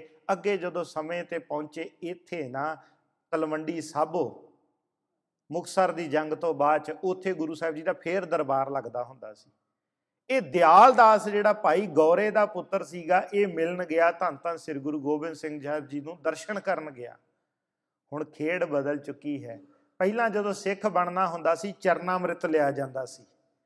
ਹੁਣ ਖੰਡੇ ਦੀ ਪੌਲ ਦਿੱਤੀ ਜਾਂਦੀ ਸੀ। ਕਲਗੀਧਰ ਪਿਤਾ ਜੀ ਨੇ ਖੰਡੇ ਦੀ ਪੌਲ ਸ਼ੁਰੂ ਕਰ ਦਿੱਤੀ ਸੀ। ਜਦੋਂ ਕਲਗੀਧਰ ਪਿਤਾ ਜੀ ਦੇ ਦਰਬਾਰ ਦੇ ਵਿੱਚ ਇਹ ਗਿਆ ਗੁਰੂ ਸਾਹਿਬ ਜੀ ਨੇ ਇਹਨੂੰ ਬੜਾ ਪਿਆਰ ਕੀਤਾ। ਕਿਉਂ? ਕਿਉਂਕਿ ਭਾਈ ਆਦਮ ਦੀ, ਭਾਈ ਭਗਤੂ ਦੀ ਔਲਾਦ ਹੈ ਅੱਗੇ। ਤੇ ਇਹ ਗੁਰੂ ਸਾਹਿਬ ਇਹਨੂੰ ਭਾਈ ਦਿਆਲਦਾਸ ਨੂੰ ਕਹਿੰਦੇ ਹਨ, ਭਾਈ ਦਿਆਲਦਾਸ, ਹੁਣ ਪੁਰਾਣੀ ਰੀਤ ਛੱਡੋ। ਹੁਣ ਤੁਸੀਂ ਕਸ਼ਹਿਰਾ ਪਹਿਨੋ। ਹੁਣ ਤੁਸੀਂ ਬਾਣਾ ਪਹਿਨੋ। ਕਕਾਰ ਧਾਰਨ ਕਰੋ। ਅੰਮ੍ਰਿਤ ਛਕੋ। ਸਿੰਘ ਸੱਜੋ ਤੇ ਗੁਰਸਿੱਖਾਂ ਵਾਲੀ ਜੀਵਣੀ ਜਿਓ। ਜੀਵਨ ਦਾਸ ਕਹਿੰਦਾ, ਮਹਾਰਾਜ, ਮੈਨੂੰ ਉਦਾਂ ਹੀ ਜੀਣ ਦਿਓ ਜਿੱਦਾਂ ਮੈਂ ਜੀਣਾ। ਉਹ ਠੀਕ ਮੇਰੇ ਵੱਡੇ ਵਡਾਰਿਆਂ ਵਾਲੀ ਰੀਤ ਮੈਨੂੰ ਠੀਕ ਹੈ। ਨਾ ਕਰ ਦਿੱਤੀ। ਕਲਗੀਧਰ ਪਿਤਾ ਨੇ ਦੁਬਾਰਾ ਕਿਹਾ, ਜੀਵਨ ਦਾਸ, ਇਹ ਸਾਡਾ ਹੁਕਮ ਹੈ। ਤੂੰ ਅੰਮ੍ਰਿਤ ਛਕ ਲੈ, ਸਿੰਘ ਸੱਜ ਜਾ। ਜੀਵਨ ਦਾਸ ਨੇ ਫੇਰ ਕਿਹਾ, ਨਹੀਂ ਜੀ ਮਹਾਰਾਜ, ਮੇਰੀ ਬਹੁਤੀ ਉਮਰ ਲੰਘ ਗਈ, ਮੈਂ ਠੀਕ ਹਾਂ ਹੁਣ। ਗੁਰੂ ਸਾਹਿਬ ਜੀ ਨੇ ਤੀਜੀ ਵਾਰੀ ਕਿਹਾ, ਜੀਵਨ ਦਾਸ, ਅੰਮ੍ਰਿਤ ਛਕ ਲੈ। ਇਹਨੇ ਫੇਰ ਨਾ ਕਰ ਦਿੱਤੀ। ਕਲਗੀਧਰ ਪਿਤਾ ਕਹਿੰਦੇ, ਠੀਕ ਆ ਫਿਰ ਤੂੰ ਅੱਜ ਅੰਮ੍ਰਿਤ ਨਹੀਂ ਛਕਦਾ, ਇੱਕ ਦਿਨ ਤੂੰ ਤਰਲੇ ਲੈ ਕੇ ਸਾਡੇ ਰੰਗਰੇਟੇ ਸਿੰਘਾਂ ਕੋਲੋਂ ਅੰਮ੍ਰਿਤ ਛਕੇਗਾ। ਆਏਗਾ ਦਿਨ। ਯਾਦ ਰੱਖੋ, ਸਾਨੂੰ ਸਿਰਫ ਅੱਜ ਦਿਖਦਾ ਹੈ, ਜਾਂ ਜਿਹੜਾ ਕੱਲ ਬੀਤ ਗਿਆ ਦਿਖਦਾ ਸਾਨੂੰ ਆਉਣ ਵਾਲਾ ਕੱਲ ਨਹੀਂ ਦਿਖਦਾ। ਪਰਮੇਸ਼ਰ, ਕੋਟ ਬ੍ਰਹਮੰਡ, ਕੋ ਠਾਕੁਰ ਸੁਆਮੀ, ਸਰਬ ਜੀਆਂ ਕਾ ਦਾਤਾਰੇ ਪ੍ਰਤਪਾਲੈ ਨਿਤ ਸਾਰ ਸੰਭਾਲੈ। ਇੱਕ ਗੁਣ ਨਹੀਂ ਮੂਰਖ ਜਾਤਾ ਰੇ। ਮੇਰੇ ਵਰਗਾ ਮੂਰਖ ਕੀ ਸਮਝੇਗਾ ਉਹਦੇ ਗੁਣਾਂ ਨੂੰ? ਪਰਮੇਸ਼ਰ ਹੈ। ਉਹ ਤੇ ਕਰੋੜਾਂ ਬ੍ਰਹਿਮੰਡਾਂ ਦਾ ਮਾਲਕ ਹੈ ਤੇ ਗੁਰੂ ਪਰਮੇਸ਼ਰ ਹੈ ਜੀ। ਹੁਣ ਗੁਰੂ ਸਾਹਿਬ ਨੇ ਕਹਿ ਦਿੱਤਾ, ਅੱਜ ਤੂੰ ਅੰਮ੍ਰਿਤ ਨਹੀਂ ਛਕਦਾ, ਇੱਕ ਦਿਨ ਤੂੰ ਤਰਲੇ ਲੈ ਕੇ ਸਾਡੇ ਰੰਗਰੇਟੇ ਸਿੰਘਾਂ ਤੋਂ ਅੰਮ੍ਰਿਤ ਛਕੇਗਾ। ਦਿਆਲਦਾਸ ਸਿਰ ਜਿਹਾ ਸੁੱਟਿਆ, ਨਿੰਮੋ ਝੂਣਾ ਜਿਹਾ ਹੋਇਆ ਤੇ ਉਥੋਂ ਆ ਗਿਆ। ਆਉਨੇ ਆ ਨਾ ਗੁਰਦੁਆਰਾ ਸਾਹਿਬ, ਕਿਹਾ ਜਾਂਦਾ ਹੈ, ਅੰਮ੍ਰਿਤ ਛਕੋ, ਗੁਰਬਾਣੀ ਪੜੋ ਗੁਰਸਿੱਖੀ, ਬਾਣੀ, ਬਾਣਾ, ਸੇਵਾ, ਸਿਮਰਨ, ਇਹ ਗੁਰਬਾਣੀ ਦੀ ਸਿੱਖ ਦੀਆਂ ਡੈਫੀਨੇਸ਼ਨਸ ਹਨ, ਸਾਰਾ ਕੁਝ ਚਾਹੀਦਾ ਹੈ। ਆਪਾਂ ਵੀ ਸਿਰ ਸੁੱਟ ਕੇ ਚਲੇ ਜਾਂਦੇ ਹਾਂ। ਦਿਆਲਦਾਸ ਵੀ ਚਲਿਆ ਗਿਆ ਅੱਜ ਸਿਰ ਸੁੱਟ ਕੇ। ਵਾਪਸ ਪੁੱਛੋ ਆ ਗਿਆ। ਹੁਣ ਇਹਦੇ ਭਤੀਜਿਆਂ ਨੂੰ ਪਤਾ ਲੱਗਾ ਕਿ ਸਾਡਾ ਚਾਚਾ ਦਿਆਲਦਾਸ ਗੁਰੂ ਸਾਹਿਬ ਜੀ ਦਾ ਬਚਨ ਮੋੜ ਆਇਆ ਹੈ। ਇਹਨੇ ਅੰਮ੍ਰਿਤ ਨਹੀਂ ਸੀ ਛਕਿਆ ਕਹਲਗੀਧਰ ਜੀ ਦੇ ਕਹਿਣ ਦੇ ਉੱਤੇ, ਇਹ ਚਾਰੇ ਜਾਣੇ ਇਕੱਠੇ ਹੋ ਕੇ ਤਲਵੰਡੀ ਸਾਬੋ ਚਲੇ ਗਏ, ਜਾ ਕੇ ਮਾਫੀ ਮੰਗੀ। ਤਨ ਤਨ ਸ੍ਰੀ ਗੁਰੂ ਗੋਬਿੰਦ ਸਿੰਘ ਸਾਹਿਬ ਜੀ ਮਹਾਰਾਜ, ਸਾਡੇ ਚਾਚੇ ਨੇ ਗਲਤੀ ਕਰ ਦਿੱਤੀ। ਅਸੀਂ ਤਾਂ ਤਨ ਤਨ ਸ੍ਰੀ ਗੁਰੂ ਰਾਮਦਾਸ ਸਾਹਿਬ ਜੀ ਦੇ ਸਮੇਂ ਤੋਂ ਜੁੜੇ ਤੁਹਾਡੇ ਚਰਨਾਂ ਦੇ ਨਾਲ। ਸਾਡੇ ਚਾਚੇ ਨੇ ਗਲਤੀ ਕਰ ਦਿੱਤੀ। ਅਸੀਂ ਮਾਫੀ ਮੰਗਦੇ ਹਾਂ। ਕਲਗੀਧਰ ਪਿਤਾ ਜੀ, ਸਾਨੂੰ ਚਾਰਾਂ ਨੂੰ ਅੰਮ੍ਰਿਤ ਦੀ ਦਾਤ ਦੇ ਦਿਓ। ਅਸੀਂ ਅੰਮ੍ਰਿਤ ਛਕ ਕੇ ਸਿੰਘ ਸੱਜਣਾ ਚਾਹੁੰਦੇ ਹਾਂ। ਇਹ ਰਾਮ ਤੋਂ ਰਾਮ ਸਿੰਘ ਬਣਾ ਦਿੱਤਾ, ਫਤਿਹ ਤੋਂ ਫਤਿਹ ਸਿੰਘ ਬਣਾ ਦਿੱਤਾ, ਬਖਤੂ ਤੋਂ ਬਖਤੂ ਸਿੰਘ ਬਣਾ ਦਿੱਤਾ, ਤਖਤੂ ਤੋਂ ਤਖਤੂ ਸਿੰਘ ਬਣਾ ਦਿੱਤਾ। ਸੰਗਤ ਜੀ, ਇਹਨਾਂ ਤਿੰਨਾਂ ਵੱਡੇ ਭਰਾਵਾਂ ਦੇ ਨਾਂ ਦੇ ਉੱਤੇ ਅੱਜ ਵੀ ਪਿੰਡ ਹਨ। ਚੱਕ ਫਤਿਹ ਸਿੰਘ ਵਾਲਾ, ਚੱਕ ਰਾਮ ਸਿੰਘ ਵਾਲਾ, ਚੱਕ ਬਖਤੂ ਸਿੰਘ। ਇਹ ਤਿੰਨ ਪਿੰਡ ਅੱਜ ਹਨ, ਚੌਥੇ ਭਰਾ ਦੇ ਨਾਂ ਤੇ ਪਿੰਡ ਨਹੀਂ ਹੈ। ਸੋ ਯਾਦ ਕਰੋ ਫਿਰ, ਭਾਈ ਆਦਮ, ਭਾਈ ਭਗਤੂ, ਭਾਈ ਗੌਰਾ, ਬੋਲੋ ਨਾਲ ਤਾਂ ਹੀ ਯਾਦ ਹੋਣਗੇ, ਭਾਈ ਗੌਰਾ ਤੇ ਭਾਈ ਜਿਉਣਾ। ਫਿਰ ਅੱਗੇ ਦਿਆਲਦਾਸ ਤੇ ਸੰਤ ਦਾਸ। ਹੁਣ ਦਿਆਲਦਾਸ ਦੀ ਗੱਲ ਚੱਲਦੀ ਹੈ ਪੈਰਲਲ ਤੇ ਨਾਲ ਸੰਤ ਦਾਸ ਜੀ ਦੇ ਚਾਰ ਪੁੱਤਰਾਂ, ਰਾਮ ਸਿੰਘ, ਫਤਿਹ ਸਿੰਘ, ਬਖਤੂ ਸਿੰਘ ਤੇ ਤਖਤੂ ਸਿੰਘ ਦੀ ਗੱਲ ਚੱਲਦੀ। ਅੰਮ੍ਰਿਤ ਛਕ ਕੇ ਆ ਗਏ, ਉਥੋਂ ਗੁਰੂ ਸਾਹਿਬ ਜੀ ਦੇ ਦਰਸ਼ਨ ਕਰਕੇ ਆ ਗਏ। ਹੁਣ ਬੜੇ ਖੁਸ਼ ਹਨ ਪਿੰਡ ਦੇ ਵਿੱਚ ਆ ਕੇ ਕਿ ਅਸੀਂ ਗੁਰੂ ਦਾ ਬਚਨ ਪਾਲਿਆ ਹੈ। ਜਾਂਦੇ ਰਹਿੰਦੇ ਸਨ ਗੁਰੂ ਗੁਰੂ ਗੋਬਿੰਦ ਸਿੰਘ ਸਾਹਿਬ ਜੀ ਮਹਾਰਾਜ ਜੀ ਦੇ ਦਰਸ਼ਨ ਕਰਨ, ਤਲਵੰਡੀ ਸਾਬੋ। ਇਹ ਫੇਰ ਗਏ। ਫੇਰ ਗਏ, ਉੱਥੇ ਜਾ ਕੇ ਨਾ ਚਾਰੇ ਭਰਾ ਬੈਠਦੇ, ਸਭ ਤੋਂ ਵੱਡਾ ਸੀ ਰਾਮ ਸਿੰਘ। ਰਾਮ ਸਿੰਘ ਨਾ ਗੁਰੂ ਸਾਹਿਬ ਜੀ ਦੇ ਗੋਡੇ ਦੇ ਲਾਗੇ ਬੈਠਦਾ ਜਾਂਦਾ ਸੀ। ਉੱਥੇ ਭਾਈ ਡੱਲ ਸਿੰਘ, ਭਾਈ ਡੱਲਾ ਵੀ ਬੈਠਦਾ ਸੀ ਗੁਰੂ ਸਾਹਿਬ ਜੀ ਦੇ ਲਾਗੇ। ਤੇ ਰਾਮ ਸਿੰਘ ਵੀ ਬੜਾ ਪਿਆਰ ਕਰਦਾ ਸੀ ਕਲਗੀਧਰ ਪਿਤਾ ਜੀ ਨੂੰ। ਕਲਗੀਧਰ ਪਿਤਾ ਜੀ ਦੇ ਜਦੋਂ ਕੋਲ ਬਹਿਣਾ ਨਾ, ਕਲਗੀਧਰ ਪਿਤਾ ਨੇ ਕਹਿਣਾ, ਰਾਮ ਸਿਆ, ਤੇਰੇ ਘਰੇ ਜਾਣ ਨੂੰ ਦਿਲ ਕਰਦਾ। ਅਸੀਂ ਤਾਂ ਕਹਿੰਦੇ ਨਾ, ਮੋਹਨ ਘਰੇ ਆਵੋ, ਕਰੋ ਜੋ ਦਰਿਆ। ਪਰ ਸਾਡੇ ਔਗਣ ਜਿਹੜੇ ਆ, ਉਹ ਥਾਂ ਨਹੀਂ ਦਿੰਦੇ ਆਉਣ ਦੀ ਗੁਰੂ ਸਾਹਿਬ ਨੂੰ ਸਾਡੇ ਹਿਰਦੇ ਤੱਕ। ਇਹ ਭਾਈ ਰਾਮ ਸਿੰਘ ਨੂੰ ਕਹਿੰਦੇ, ਰਾਮ ਸਿੰਘ ਤੇਰੇ ਘਰੇ ਆਉਣ ਨੂੰ ਦਿਲ ਕਰਦਾ ਤੇ ਰਾਮ ਸਿੰਘ ਕਹਿੰਦਾ ਮਹਾਰਾਜ, ਉੱਥੇ ਤੇ ਰੇਤ ਹੀ ਰੇਤ ਆ। ਗਰਮੀ ਗਰਮੀ ਆ। ਉੱਥੇ ਤੇ ਰੇਤ ਉੱਡਦੀ ਰਹਿੰਦੀ, ਉੱਥੇ ਕੀ ਕਰੋਗੇ ਆ ਕੇ? ਇਦਾਂ ਹੀ ਆ ਜੀ, ਪਿਆਰ 'ਚ ਹੋ ਜਾਂਦੀਆਂ ਇਹ ਗੱਲਾਂ। ਮਹਾਰਾਜ, ਤੁਸੀਂ ਉੱਥੇ ਕੀ ਕਰੋਗੇ? ਫੇਰ ਜਦੋਂ ਬਹਿਣਾ, ਗੁਰੂ ਸਾਹਿਬ ਨੇ ਕਹਿਣਾ, ਰਾਮ ਸਿਆ, ਤੇਰੇ ਘਰੇ ਆਉਣ ਨੂੰ ਦਿਲ ਕਰਦਾ ਰਾਮ ਸੇ ਨੇ ਫੇਰ ਕਹਿ ਦੇਣਾ। ਮਹਾਰਾਜ, ਕੀ ਕਰੋਗੇ ਉੱਥੇ? ਇੱਥੇ ਤੁਸੀਂ ਵਧੀਆ ਥਾਂ ਬੈਠੇ ਆ, ਤਲਵੰਡੀ ਸਾਬੋ। ਉੱਥੇ ਕੀ ਕਰੋਗੇ ਆ ਕੇ? ਸਾਡੇ ਤੇ ਗਰਮੀ ਬੜੀ। ਇੱਕ ਦਿਨ ਫਿਰ ਗੁਰੂ ਸਾਹਿਬ ਕਹਿੰਦੇ, ਰਾਮ ਸਿਆ ਅਸੀਂ ਤੇਰੇ ਘਰੇ ਆਉਣਾ, ਜਾ ਕੇ ਤਿਆਰੀ ਕਰੋ। ਕਹਿੰਦੇ, ਅਸੀਂ ਤੇਰੇ ਘਰੇ ਆਉਣਾ, ਜਾ ਕੇ ਤਿਆਰੀ ਕਰੋ। ਇਹ ਚਾਰੇ ਭਰਾ ਉਥੋਂ ਚੱਲ ਪਏ। ਸਾਰਾ ਰਾਹ ਸੋਚਦੇ ਹੁੰਦੇ ਆ ਕਿ ਗੁਰੂ ਸਾਹਿਬ ਜੀ ਦੇ ਸਵਾਗਤ ਵਾਸਤੇ ਅਸੀਂ ਕੀ ਕਰਾਂਗੇ? ਸਾਡੇ ਤੇ ਇੱਥੇ ਰੇਤ ਹੀ ਰੇਤ ਆ, ਇੰਨੀ ਗਰਮੀ ਗੁਰੂ ਸਾਹਿਬ ਲਈ ਅਸੀਂ ਕਿੱਦਾਂ ਪ੍ਰਬੰਧ ਕਰਾਂਗੇ? ਸਾਰਾ ਰਾਹ ਆਣ ਕੇ, ਆ ਕੇ ਪਿੰਡ ਦੇ ਵਿੱਚ ਚੱਕ ਫਤਿਹ ਸਿੰਘ ਵਾਲਾ ਪਿੰਡ ਦੇ ਵਿੱਚ ਆ ਕੇ ਹੋਕਾ ਦੇ ਦਿੱਤਾ। ਕਹਿੰਦੇ ਕਲਗੀਧਰ ਪਿਤਾ ਸਾਡੇ ਘਰੇ ਆ ਰਹੇ ਹਨ। ਗੁਰੂ ਸਾਹਿਬ ਜੀ ਨੇ ਕਹਿ ਦਿੱਤਾ ਹੈ, ਤਿਆਰੀ ਕਰ ਲਓ। ਹੁਣ ਦੋਵੇਂ ਸਾਰੇ ਭਰਾ ਸੋਚਦੇ, ਕੀ ਕਰੀਏ? ਜਾ ਵੜੇ ਜਾ ਕੇ ਫਿਰ ਇਹਨਾਂ ਫੈਸਲਾ ਕੀ ਕੀਤਾ ਕਿ ਅਸੀਂ ਗੁਰੂ ਜੀ ਲਈ ਕਾਠ ਦਾ ਬੰਗਲਾ ਬਣਾਵਾਂਗੇ। ਕਾਠ ਹੁੰਦੀ ਲੱਕੜ। ਲੱਕੜ ਦਾ ਕਹਿੰਦੇ, ਅਸੀਂ ਐਸਾ ਕਮਰਾ ਤਿਆਰ ਕਰਾਂਗੇ ਜਿਹਦੇ ਵਿੱਚ ਗਰਮੀ ਨਾ ਲੱਗੇ। ਕਲਗੀਧਰ ਪਿਤਾ ਜੀ ਦੇ ਆਉਣ ਵਾਸਤੇ ਅਸੀਂ ਪੂਰਾ ਪ੍ਰਬੰਧ ਕਰਾਂਗੇ। ਜਾ ਬੜੇ ਸਵੇਰੇ ਸਵੇਰੇ ਜੰਗਲਾਂ ਚੋਂ ਦਰਖਤ, ਹਰ ਤਰ੍ਹਾਂ ਦੀ ਜੋ ਜੋ ਉਹਨਾਂ ਨੂੰ ਲੱਕੜ, ਸਾਰਾ ਸਮਾਨ ਚਾਹੀਦਾ ਸੀ, ਵੱਢਣਾ ਸ਼ੁਰੂ ਕਰ ਦਿੱਤਾ। ਲੈ ਆਂਦਾ, ਸਕੀਮ ਇਹਨਾਂ ਨੇ ਕੀ ਲਾਈ? ਆਪਾਂ ਸੰਗਤ ਜੀ ਪੰਜਾਬ ਤੋਂ ਆਏ ਆ, ਹੁਣ ਤੇ ਏਸੀਆਂ 'ਚ ਰਹਿੰਦੇ ਤੋਂ ਪਹਿਲਾਂ ਅਸੀਂ ਕੂਲਰ ਵਰਤਦੇ ਸੀ। ਕੂਲਰ ਦਾ ਕੀ ਸਿਸਟਮ ਹੁੰਦਾ ਸੀ? ਇੱਕ ਉਹਦੇ ਅੰਦਰ ਨਾ ਘਾਹ ਲਾ ਦਿੰਦੇ ਸੀ। ਉੱਤੋਂ ਪਾਣੀ ਜਦੋਂ ਚੱਲਦਾ ਸੀ ਕੂਲਰ, ਉੱਤੋਂ ਪਾਣੀ ਡਿੱਗਦਾ ਹੈ, ਹਵਾ ਘਾਹ ਦੇ ਵਿੱਚੋਂ ਲੰਘ ਕੇ ਠੰਡੀ ਹੋ ਜਾਂਦੀ, ਉਹੀ ਠੰਡੀ ਹਵਾ ਆਪਾਂ ਮਾਣਦੇ ਸੀ। ਕੂਲਰ ਦੇ ਅੱਗੇ ਬੈਠ ਕੇ। ਇਹਨਾਂ ਨੇ ਕੀ ਕੀਤਾ? ਇਹਨਾਂ ਨੇ ਕਮਰਾ ਬਣਾਇਆ ਲੱਕੜ ਦਾ। ਉਹਦੇ ਉੱਤੇ ਛੱਤ ਤੇ ਇਹਦੀ ਸਾਈਡਾਂ ਵਿੱਚ ਜਿਹੜਾ ਸੀ ਨਾ, ਇਹ ਸਾਰਾ ਘਾਹ ਭਰ ਕੇ ਤੇ ਉੱਤੇ ਤਰੌਂਕਣ ਵਾਲਾ ਸਿਸਟਮ ਲਾ ਲਿਆ ਕਿ ਇੱਥੇ ਜਦੋਂ ਗੁਰੂ ਸਾਹਿਬ ਆਣ ਕੇ ਬੈਠਣਗੇ, ਅਸੀਂ ਪ੍ਰਾਣੀ ਤਰੌਂਕਾਂਗੇ, ਇਹਦੇ ਵਿੱਚੋਂ ਜਿਹੜੀ ਹਵਾ ਲੰਘ ਕੇ ਜਾਏਗੀ, ਉਹ ਠੰਡੀ ਹੋਏਗੀ। ਇਸ ਕਮਰੇ ਨੂੰ ਠੰਡਾ ਰੱਖੇਗੀ। ਥੱਲੇ ਉਹਨਾਂ ਨੇ ਰੇਤ ਵਿਛਾ ਦਿੱਤੀ ਤੇ ਰੇਤ ਦੇ ਉੱਤੇ ਪਾਣੀ ਪਾ ਕੇ ਰੇਤ ਨੂੰ ਵੀ ਠੰਡੇ ਕਰਨਾ ਸ਼ੁਰੂ ਕਰ ਦਿੱਤਾ।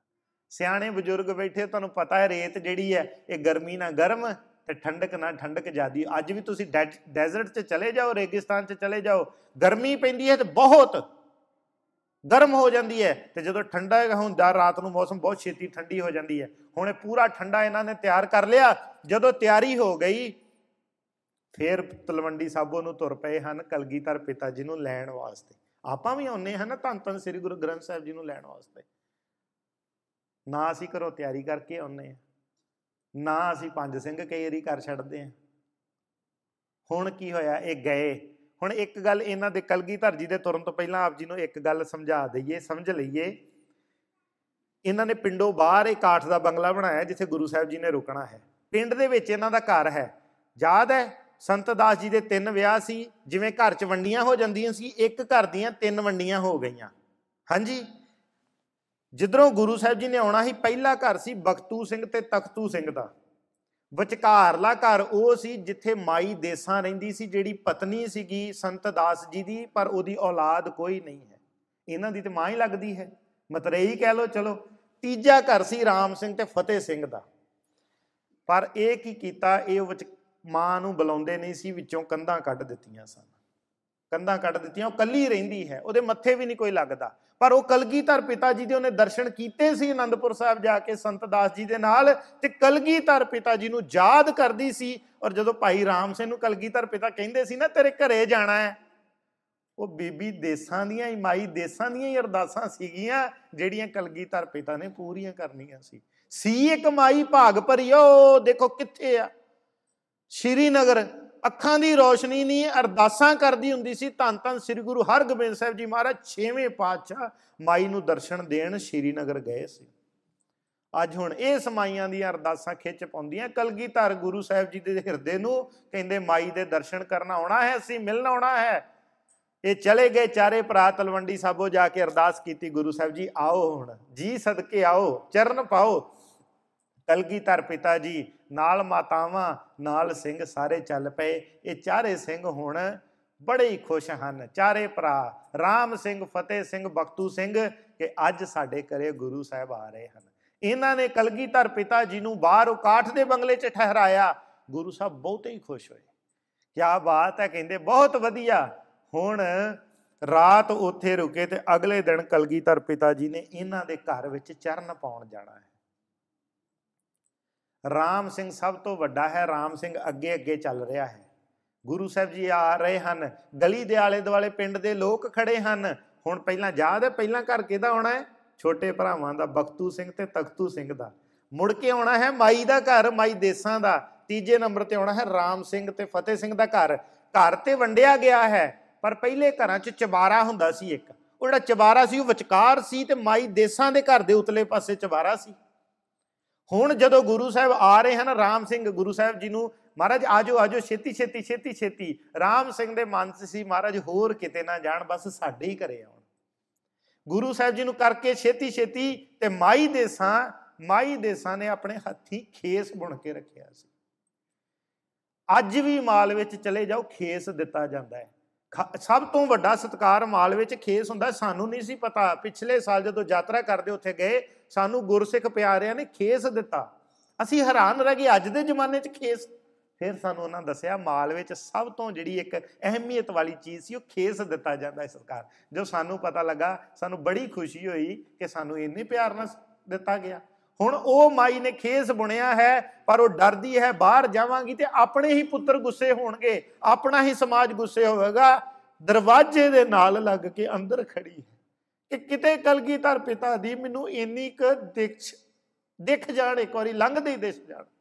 ਮੈਨੂੰ ਮਿਲ ਨਹੀਂ ਦੇਣਾ ਕਿਸੇ ਨੇ।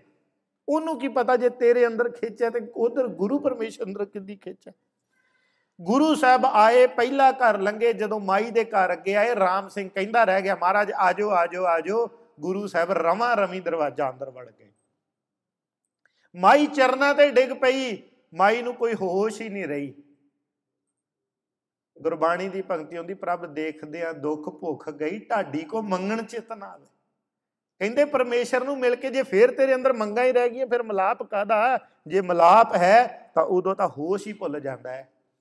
ਕਲਗੀ ਤਰਜੀ ਦੇ ਚਰਨਾਂ ਤੇ ਡਿੱਗ ਪਈ, ਹੁਣ ਰਾਮ ਸਿੰਘ ਦੇਖਦਾ ਉਹੀ ਗੱਲ ਹੋ ਗਈ ਜੇ ਤੋਂ ਡਰਦੇ ਸੀਗੇ।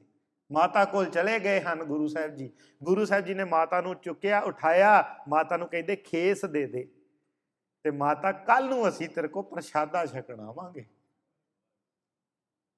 ਇਹਨਾਂ ਬਚਨ ਕਰਕੇ ਕਲਗੀਧਰ ਪਿਤਾ ਰਵੀ ਰਵੀ ਬਾਹਰ ਆ ਗਏ ਤੇ ਰਾਮ ਸਿੰਘ ਦੇ ਘਰੇ ਚਲੇ ਗਏ। ਹੁਣ ਸੰਗਤ ਜੀ, ਰਾਮ ਸਿੰਘ ਨੇ ਆਪਣੇ ਘਰੇ ਡੰਡੇ ਵਾਲੀਆਂ ਪੌੜੀਆਂ ਜਿਹੜੀਆਂ ਅਸੀਂ ਘਰਾਂ 'ਚ ਵਰਤਦੇ ਸੀ, ਉਹ ਡੰਡੇ ਵਾਲੀਆਂ ਪੌੜੀਆਂ ਲਾ ਕੇ ਗੁਰੂ ਸਾਹਿਬ ਜੀ ਨੂੰ ਛੱਤ ਦੇ ਉੱਤੇ ਗੁਰੂ ਸਾਹਿਬ ਜੀ ਦਾ ਟਿਕਾਣਾ ਕੀਤਾ ਚਬਾਰੇ ਦੇ ਵਿੱਚ। ਜਦੋਂ ਸ਼ਾਮ ਨੂੰ ਗੁਰੂ ਸਾਹਿਬ ਟਹਿਲਣ ਨਿਕਲੇ ਗੁਰੂ ਸਾਹਿਬ ਜੀ ਨੇ ਦੇਖਿਆ, ਸਾਨੂੰ ਡੰਡੀ ਵਾਲੀ ਪੌੜੀਆਂ ਤੇ ਚੜਾਇਆ ਹੈ ਤੇ ਇਧਰਲੇ ਘਰ ਚੋਂ ਤੇ ਪ੍ਰੋਪਰ ਪੌੜੀਆਂ ਚੜਦੀਆਂ ਸਨ, ਜਿਹੜਾ ਭਾਈ ਬਖਤੂ ਸਿੰਘ ਤੇ ਤਖਤੂ ਸਿੰਘ ਦਾ ਸੀ। ਭਾਈ ਗੁਰੂ ਸਾਹਿਬ ਜੀ ਨੇ ਰਾਮ ਸਿੰਘ ਨੂੰ ਸੱਦਿਆ, ਰਾਮ ਸਿੰਘ ਨੂੰ ਗੁੱਸੇ ਹੋਏ, ਕਹਿੰਦੇ, ਰਾਮ ਸਿਆ, ਭਰਾਵਾਂ ਦੇ ਨਾਲ ਇੰਨੀ ਈਰਖਾ? ਅਸੀਂ ਤੇ ਛੱਤ ਤੇ ਆਉਣਾ ਸੀ, ਅਸੀਂ ਉਸ ਪੌੜੀਆਂ ਤੋਂ ਆ ਜਾਂਦੇ, ਉਹਨਾਂ ਦੇ ਘਰ ਦੇ ਵਿੱਚੋਂ, ਪਰ ਤੂੰ ਕੀ ਕੀਤਾ? ਰਾਮ ਸਿੰਘ ਨੇ ਫਤਿਹ ਸਿੰਘ ਨੇ ਗੁਰੂ ਸਾਹਿਬ ਕੋਲੋਂ ਮਾਫੀ ਮੰਗੀ। ਸੰਗਤ ਜੀ, ਗਲਤੀਆਂ ਅਸੀਂ ਵੀ ਕਰਦੇ ਹਾਂ, ਪਰ ਸ਼ਾਇਦ ਮਾਫੀ ਮੰਗਣ ਤੋਂ ਚੂਕ ਕਰ ਜਾਂਦੇ ਹਾਂ। ਗੁਰੂ ਤਾਂ ਬਖਸ਼ੰਦ ਹੈ, ਪਿਤਾ ਹੈ, ਪਿਤਾ ਤੇ ਇਹੀ ਚਾਹੁੰਦਾ ਹੈ, ਇੱਕ ਵਾਰੀ ਪੁੱਤਰ ਕਵੇ ਤੇ ਸਹੀ, ਮੈਂ ਮਾਫ ਕਦੋਂ ਕਰਾਂ? ਪਰ ਪੁੱਤਰ ਕਹਿੰਦਾ, ਮੈਂ ਤਾਂ ਸਾਰੀ ਉਮਰ ਆਕੜਿਆ ਹੀ ਰਹਿਣਾ। ਹੁਣ ਕਲਗੀਧਰ ਪਿਤਾ, ਇਹ ਰਾਮ ਸਿੰਘ ਫਤਿਹ ਸਿੰਘ ਦਾ ਘਰ ਹੈ, ਵਿਚਕਾਰ ਮਾਈ ਦੇਸਾਂ ਦਾ ਘਰ ਹੈ, ਜਿਹਦੇ ਉੱਤੇ ਚਬਾਰਾ ਹੈ ਤੇ ਇਧਰ ਇਧਰ ਬਖਤੂ ਸਿੰਘ ਤੇ ਤਖਤੂ ਸਿੰਘ ਜੀ ਦਾ ਘਰ ਹੈ। ਹੁਣ ਸੰਗਤ ਜੀ, ਅਗਲਾ ਦਿਨ ਹੋਇਆ ਗੁਰੂ ਸਾਹਿਬ ਜੀ ਨਾ, ਗੁਰੂ ਸਾਹਿਬ ਜੀ ਰਵਾਂ ਰਵੀ ਸਵੇਰੇ ਸਵੇਰੇ ਉਹ ਪੌੜੀਆਂ ਉਤਰ ਕੇ ਭਾਈ ਬਖਤੂ ਸਿੰਘ ਤੇ ਤਖਤੂ ਸਿੰਘ ਦੇ ਘਰੇ ਚਲੇ ਗਏ। ਅਚਾਨਕ ਗੁਰੂ ਸਾਹਿਬ ਜੀ ਨੂੰ ਆਪਣੇ ਵਿਹੜੇ 'ਚ ਉਤਰਿਆ, ਦੇਖ ਕੇ ਉਹਨਾਂ ਦੀ ਖੁਸ਼ੀ ਦਾ ਟਿਕਾਣਾ ਹੀ ਨਹੀਂ ਰਿਹਾ। ਇੰਨੇ ਖੁਸ਼ ਇੰਨੇ ਖੁਸ਼, ਛੇਤੀ ਛੇਤੀ ਲਿਆ ਕੇ ਮੰਜੀਆਂ ਡਾਈਆਂ ਬੈਠਣ ਦਾ ਪ੍ਰਬੰਧ ਕੀਤਾ। ਗੁਰੂ ਸਾਹਿਬ ਜੀ ਨੇ ਉਹਨਾਂ ਨੂੰ ਪਿਆਰ ਦਿੱਤਾ। ਫਿਰ ਗੁਰੂ ਸਾਹਿਬ ਜੀ ਨੇ ਕੀ ਵੇਖਿਆ? ਘਰ ਦੇ ਵਿੱਚ ਕੰਧਾਂ ਹਨ। ਤੇ ਕੰਧ ਕੀ ਹੁੰਦੀ ਹੈ? ਪਹਿਲਾਂ ਕੰਧ ਕੱਢੀ ਜਾਂਦੀ, ਵਿੱਚ ਦਰਵਾਜ਼ਾ ਛੱਡਿਆ ਜਾਂਦਾ। ਇਦਾਂ ਹੀ ਹੁੰਦੀ ਜੀ ਭਰਾਵਾਂ 'ਚ। ਫਿਰ ਜੇ ਦੋ ਭਰਾ ਲੜ ਜਾਣ, ਫਿਰ ਜਿਹੜਾ ਦਰਵਾਜ਼ਾ ਹੁੰਦਾ, ਉਹਨੂੰ ਵੀ ਇੱਟਾਂ ਲਾ ਕੇ ਬੰਦ ਕਰ ਦਿੱਤਾ ਜਾਂਦਾ ਹੈ। ਹੁਣ ਇਧਰੋਂ ਜਿਹੜਾ ਫਤਿਹ ਸਿੰਘ ਤੇ ਰਾਮ ਸਿੰਘ ਦਾ ਘਰ ਹੀ ਉਧਰੋਂ ਵੀ ਇੱਟਾਂ ਬੰਦ ਹਨ। ਤੇ ਇਧਰੋਂ ਵੀ ਕੰਧ ਬੰਦ ਕੀਤੀ ਹੋਈ, ਮਾਈ ਨੂੰ ਵਿੱਚ ਕੱਲੀ ਛੱਡਿਆ ਹੋਇਆ ਤੇ ਮਾਈ ਉਹ ਭਗਤਣੀ, ਮਾਂ ਇਹਨਾਂ ਦੀ। ਹੁਣ ਗੁਰੂ ਸਾਹਿਬ ਜੀ ਨੇ ਨਾ, ਉਹ ਜਿਹੜਾ ਦਰਵਾਜ਼ੇ ਦੇ ਵਿੱਚ ਇੱਟਾਂ ਲੱਗੀਆਂ ਸੀ, ਉਹਨਾਂ ਨੂੰ ਲੱਤ ਮਾਰ ਕੇ ਸੁੱਟ ਦਿੱਤਾ ਤੇ ਮਾਤਾ ਦੇ ਘਰੇ ਚਲੇ ਗਏ। ਕੀਤਾ ਸੀ ਬਚਨ ਮਾਤਾ ਕੱਲ ਨੂੰ ਆਵਾਂਗੇ, ਤੇਰੇ ਕੋ ਪ੍ਰਸ਼ਾਦਾ ਛਕਾਂਗੇ। ਮਾਤਾ ਪ੍ਰਸ਼ਾਦਾ ਬਣਾ ਕੇ ਰੱਖਿਆ ਹੋਇਆ ਹੈ ਤੇ ਮਾਤਾ ਬੈਠੀ ਪੱਖੀ ਚੱਲ ਰਹੀ ਹੈ। ਗੁਰੂ ਸਾਹਿਬ ਸੱਜ ਗਏ, ਜਾ ਕੇ ਕਹਿੰਦੇ, ਮਾਤਾ, ਆ ਗਏ ਅਸੀਂ ਪ੍ਰਸ਼ਾਦਾ ਛਕਾ। ਪ੍ਰਸ਼ਾਦਾ ਛਕਾਇਆ ਕਲਗੀਧਰ ਪਿਤਾ ਜੀ ਨੂੰ। ਸੰਗਤ ਜੀ, ਅੱਜ ਉਹ ਕਮਰਾ ਉੱਥੇ ਉਦਾਂ ਦਾ ਉਦਾਂ ਹੀ ਮੌਜੂਦ ਹੈ, ਚੱਕ ਫਤਿਹ ਸਿੰਘ ਪਿੰਡ ਦੇ ਵਿੱਚ। ਉਹ ਮੰਜਾ ਜਿਹਦੇ ਉੱਤੇ ਕਲਗੀਧਰ ਪਿਤਾ ਬੈਠੇ ਸੀ, ਉਹਦੀਆਂ ਹੀਆਂ, ਉਹਦਾ ਵਾਣ ਵੀ ਅੱਜ ਉੱਥੇ ਹੈ। ਕਲਗੀਧਰ ਪਿਤਾ ਜੀ ਦੀ ਦਸਤਾਰ ਉੱਥੇ ਹੈ। ਮਾਈ ਦੇਸਾਂ ਦੀਆਂ ਬਹੁਤ ਸਾਰੀਆਂ ਵਸਤਾਂ ਉੱਥੇ ਹਨ। ਕਦੇ ਜਾਣਾ ਚੱਕ ਫਤਿਹ ਸਿੰਘ ਪਿੰਡ ਜਿਹੜਾ ਹੈ, ਚੱਕ ਫਤਿਹ ਸਿੰਘ ਵਾਲਾ ਪੁੱਚੋ ਮੰਡੀ ਦੇ ਕੋਲ ਬਠਿੰਡਾ ਜ਼ਿਲ੍ਹਾ ਹੈ, ਉੱਥੇ ਜਾ ਕੇ ਕਲਗੀਧਰ ਜੀ ਦੀ ਇਹਨਾਂ ਸਾਰੇ ਚੀਜ਼ਾਂ ਦੇ ਦਰਸ਼ਨ ਕਰਨੇ। ਅੱਜ ਵੀ ਮਾਈ ਦੇਸਾਂ ਦਾ ਚਬਾਰਾ ਉਦਾਂ ਦਾ ਉਦਾਂ ਛੱਤ ਵੀ ਉਦਾਂ ਹੀ ਹੈ। ਉੱਤੇ ਗੁਰਦੁਆਰਾ ਸਾਹਿਬ ਬਣਾ ਦਿੱਤਾ ਗਿਆ ਤੇ ਵਿੱਚੋਂ ਪ੍ਰਾਤਨਤਾ ਸਾਰੀ ਸਾਂਭ ਕੇ ਰੱਖੀ ਹੋਈ ਹੈ। ਹੁਣ ਕਲਗੀਧਰ ਪਿਤਾ ਜੀ ਜਿਸ ਮਾਈ ਦੇ ਕਰਕੇ ਇੰਨੀ ਗਰਮੀ ਦੇ ਵਿੱਚ ਇੰਨੀ ਦੂਰੋਂ ਆਏ ਸੀ, ਉਸ ਨੂੰ ਅੱਜ ਦਰਸ਼ਨ ਦੇ ਕੇ ਨਿਹਾਲ ਕਰ ਦਿੱਤਾ। ਰਾਮ ਸਿੰਘ ਨਿਹਾਲ ਹੈ, ਫਤਿਹ ਸਿੰਘ ਨਿਹਾਲ ਹੈ, ਤਖਤੂ ਸਿੰਘ ਨਿਹਾਲ ਹੈ, ਬਖਤੂ ਸਿੰਘ ਨਿਹਾਲ ਹੈ, ਅੱਜ ਮਾਈ ਦੇਸਾਂ ਵੀ ਨਿਹਾਲ ਹੈ ਤੇ ਸਮਝਾਇਆ, ਪੁੱਤਰ, ਤੁਹਾਡੀ ਮਾਂ ਹੈ। ਇਹਦਾ ਸਤਕਾਰ ਕਰਿਆ ਕਰੋ। ਇਹ ਤੇ ਪਰਮੇਸ਼ਰ ਨੂੰ ਜਪਣ ਵਾਲੀ ਹੈ। ਪੁੱਤਰਾਂ ਨੇ ਮੁਆਫੀ ਮੰਗੀ ਕਲਗੀਧਰ ਪਿਤਾ ਉੱਥੇ ਕੁਝ ਦਿਨ ਰੁਕੇ। ਉੱਥੋਂ ਫਿਰ ਅੱਗੇ ਬਠਿੰਡੇ ਵੱਲ ਨੂੰ ਚਲੇ ਗਏ। ਇਹ ਭਰਾ ਚਾਰੇ ਹੀ ਹੁਣ ਸੱਚ ਇੱਕ ਗੱਲ ਯਾਦ ਇੱਥੇ ਭੁੱਲ ਗਏ। ਉਹ ਦਿਆਲਦਾਸ ਜੀ ਚੇਤਾ ਕਰੋ, ਚਾਚਾ ਸੀ ਜਿਹੜਾ। ਇਹਨਾਂ ਚਾਰ ਭਰਾਵਾਂ ਦਾ ਚਾਚਾ ਜਿਹਨੇ ਨਾ ਕਰ ਦਿੱਤੀ ਸੀ ਅਮਰ ਛਕਣ ਤੋਂ ਤਲਵੰਡੀ ਸਾਬੋ। ਹੁਣ ਕਿਉਂਕਿ ਗੁਰੂ ਸਾਹਿਬ ਪਿੰਡ 'ਚ ਆਏ ਹਨ, ਆਇਆ ਗੁਰੂ ਸਾਹਿਬ ਜੀ ਦੇ ਦਰਸ਼ਨ ਕਰਨ। ਗੁਰੂ ਸਾਹਿਬ ਜੀ ਦੇ ਦਰਸ਼ਨ ਕਰਨ ਆਇਆ, ਗੁਰੂ ਸਾਹਿਬ ਜੀ ਨੇ ਗੌਲਿਆ ਹੀ ਨਹੀਂ ਕਿ ਬੈਠਾ ਹੈ। ਨਹੀਂ ਨਾ ਹੁਕਮ ਮੰਨਦੇ। ਇੱਥੇ ਆ ਕੇ ਬੈਠਿਆਂ ਵੀ ਹੋ ਸਕਦਾ ਗੁਰੂ ਸਾਹਿਬ ਗੌਲਣ ਹੀ ਨਾ ਕਿ ਤੂੰ ਆਇਆ ਹੈ। ਕੀ ਕਰ ਲਵਾਂਗੇ ਜੇ ਕਲਗੀਧਰ ਜੀ ਨੇ ਮੂੰਹ ਹੀ ਮੋੜ ਲਿਆ ਤੇ? ਗੁਰੂ ਸਾਹਿਬ ਜੀ ਨੇ ਗੌਲਿਆ ਹੀ ਨਹੀਂ ਤੇ ਰਾਮ ਸਿੰਘ ਕਹਿੰਦਾ, ਗੁਰੂ ਸਾਹਿਬ ਜੀ, ਚਾਚਾ ਜੀ ਆਏ ਹਨ। ਫਿਰ ਚਾਚੇ ਨੂੰ, ਦਿਆਲਦਾਸ ਨੂੰ ਪਤਾ ਲੱਗ ਗਿਆ, ਗੁਰੂ ਸਾਹਿਬ ਮੇਰੇ ਨਾਲ ਨਾਰਾਜ਼ ਹਨ। ਬਾਹਰ ਜਾ ਕੇ ਰਾਮ ਸਿੰਘ ਨਾਲ ਗੱਲ ਕਰਦਾ, ਕਹਿੰਦਾ, ਕਿੱਦਾਂ, ਕੀ ਕਰੀਏ? ਰਾਮ ਸਿੰਘ ਕਹਿੰਦਾ, ਜਦੋਂ ਗੁਰੂ ਸਾਹਿਬ ਨੇ ਇੱਥੋਂ ਚੱਲਣਾ ਹੈ ਨਾ ਬਠਿੰਡੇ ਵੱਲ ਨੂੰ ਜਾਣਾ ਹੈ, ਤੁਸੀਂ ਲੰਗਰ ਪ੍ਰਸ਼ਾਦਾ ਤਿਆਰ ਕਰਕੇ ਗੱਡਿਆਂ ਤੇ ਲੱਦ ਕੇ ਲਿਆਓ। ਜਦੋਂ ਇੱਥੋਂ ਗੁਰੂ ਸਾਹਿਬ ਜੀ ਜਾਣਗੇ, ਆਪਾਂ ਰਸਤੇ ਦੇ ਵਿੱਚ ਲੰਗਰ ਛਕਾਵਾਂਗੇ, ਸੰਗਤ ਨੂੰ ਸ਼ਾਇਦ ਗੁਰੂ ਸਾਹਿਬ ਖੁਸ਼ ਹੋ ਜਾਣ। ਹੁਣ ਦਿਆਲਦਾਸ ਘਰੇ ਚਲਿਆ ਗਿਆ, ਲੰਗਰ ਬਣਾ ਲਿਆ ਆ ਜਦੋਂ ਕਲਗੀਧਰ ਪਿਤਾ ਚੱਕ ਫਤਿਹ ਸਿੰਘ ਵਾਲਾ ਤੋਂ ਬਠਿੰਡੇ ਵੱਲ ਨੂੰ ਚੱਲਦੇ ਹਨ, ਦਿਆਲਦਾਸ ਲੈ ਕੇ ਲੰਗਰ ਲੈ ਕੇ ਆ ਗਿਆ ਤੇ ਕਲਗੀਧਰ ਪਿਤਾ ਜੀ ਨੂੰ ਅਰਜ਼ੋਈ ਕੀਤੀ, ਲੰਗਰ ਛਕੋ, ਸੰਗਤਾਂ ਨੂੰ ਛਕਾਓ। ਗੁਰੂ ਸਾਹਿਬ ਨੇ ਕਿਹਾ, ਤੂੰ ਅੰਮ੍ਰਿਤ ਨਹੀਂ ਛਕਿਆ, ਤੇਰਾ ਲੰਗਰ ਪ੍ਰਵਾਨ ਨਹੀਂ। ਅੱਜ ਤੂੰ ਤਾਂ ਨਗਰ ਕੀਰਤਨਾਂ 'ਚ ਬੜੇ ਵੱਡੇ ਲੰਗਰ ਲਾਉਣਾ ਹੈ। ਕੀ ਕਲਗੀਧਰ ਜੀ ਨੂੰ ਪ੍ਰਵਾਨ ਹੋ ਜਾਣਗੇ? ਦੇਖੋ ਸੰਗਤ ਜੀ, ਲੰਗਰ ਸਿੱਖਾਂ ਨੇ ਹੀ ਲਾਉਣੇ ਹਨ, ਆਪਾਂ ਨੇ ਹੀ ਲਾਉਣੇ ਹਨ, ਪਰ ਲਾਉਣੇ ਗੁਰੂ ਦਾ ਹੁਕਮ ਮੰਨ ਕੇ ਹਨ। ਯਾਦ ਰੱਖਣਾ, ਇੰਨਾ ਕੁਝ ਕਰਨ ਤੋਂ ਬਾਅਦ ਚ ਜੇ ਗੁਰੂ ਸਾਹਿਬ ਜੀ ਨੇ ਗੱਲ ਵਕੜੀ ਨਾ ਲਾਇਆ, ਜੇ ਅੰਦਰ ਕੋਈ ਤੜਫ ਵੀ ਤੇ ਹੋਣੀ ਚਾਹੀਦੀ ਨਾ, ਹਾਂ, ਤੁਮਰੀ ਕਰੋ ਨਿਤਿਆਸ। ਪ੍ਰਭ ਮੋਹਿ ਕਬ ਗੱਲ ਲਾਵੇਂਗੇ?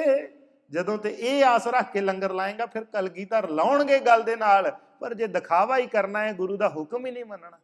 ਅੰਮ੍ਰਿਤ ਨਹੀਂ ਛਕਣਾ, ਬਾਣੀ ਨਹੀਂ ਪੜਨੀ ਗੁਰਸਿੱਖਾਂ ਵਾਲਾ ਜੀਵਨ ਨਹੀਂ ਜਿਉਣਾ, ਜੇ ਦਿਆਲ ਦਾਸ ਦਾ ਪ੍ਰਵਾਨ ਨਹੀਂ ਸੀ, ਸਾਡਾ ਹੋ ਜਾਏਗਾ।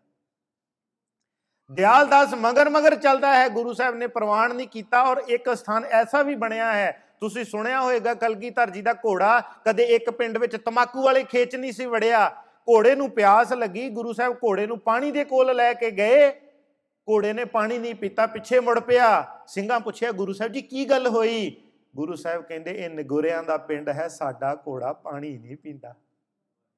ਇਹ ਨਗੁਰਿਆਂ ਦਾ ਪਿੰਡ ਹੈ, ਸਾਡਾ ਘੋੜਾ ਪਾਣੀ ਨਹੀਂ ਪੀਂਦਾ। ਗੁਰੂ ਸਾਹਿਬ ਅੱਗੇ ਚੱਲ ਪਏ, ਦਿਆਲ ਦਾਸ ਅੱਗੇ ਭਾਗੂ ਪਿੰਡ ਆਉਂਦਾ ਹੈ ਜੀ। ਉੱਥੇ ਜਾ ਕੇ ਦਿਆਲ ਦਾਸ ਨੇ ਮਾਫੀ ਮੰਗੀ। ਗੁਰੂ ਸਾਹਿਬ ਜੀ, ਮੈਨੂੰ ਅੰਮ੍ਰਿਤ ਛਕਾ ਦਿਓ, ਮੈਂ ਮਾਫੀ ਮੰਗਦਾ ਹਾਂ, ਲੰਗਰ ਪ੍ਰਵਾਨ ਕਰ ਲਓ।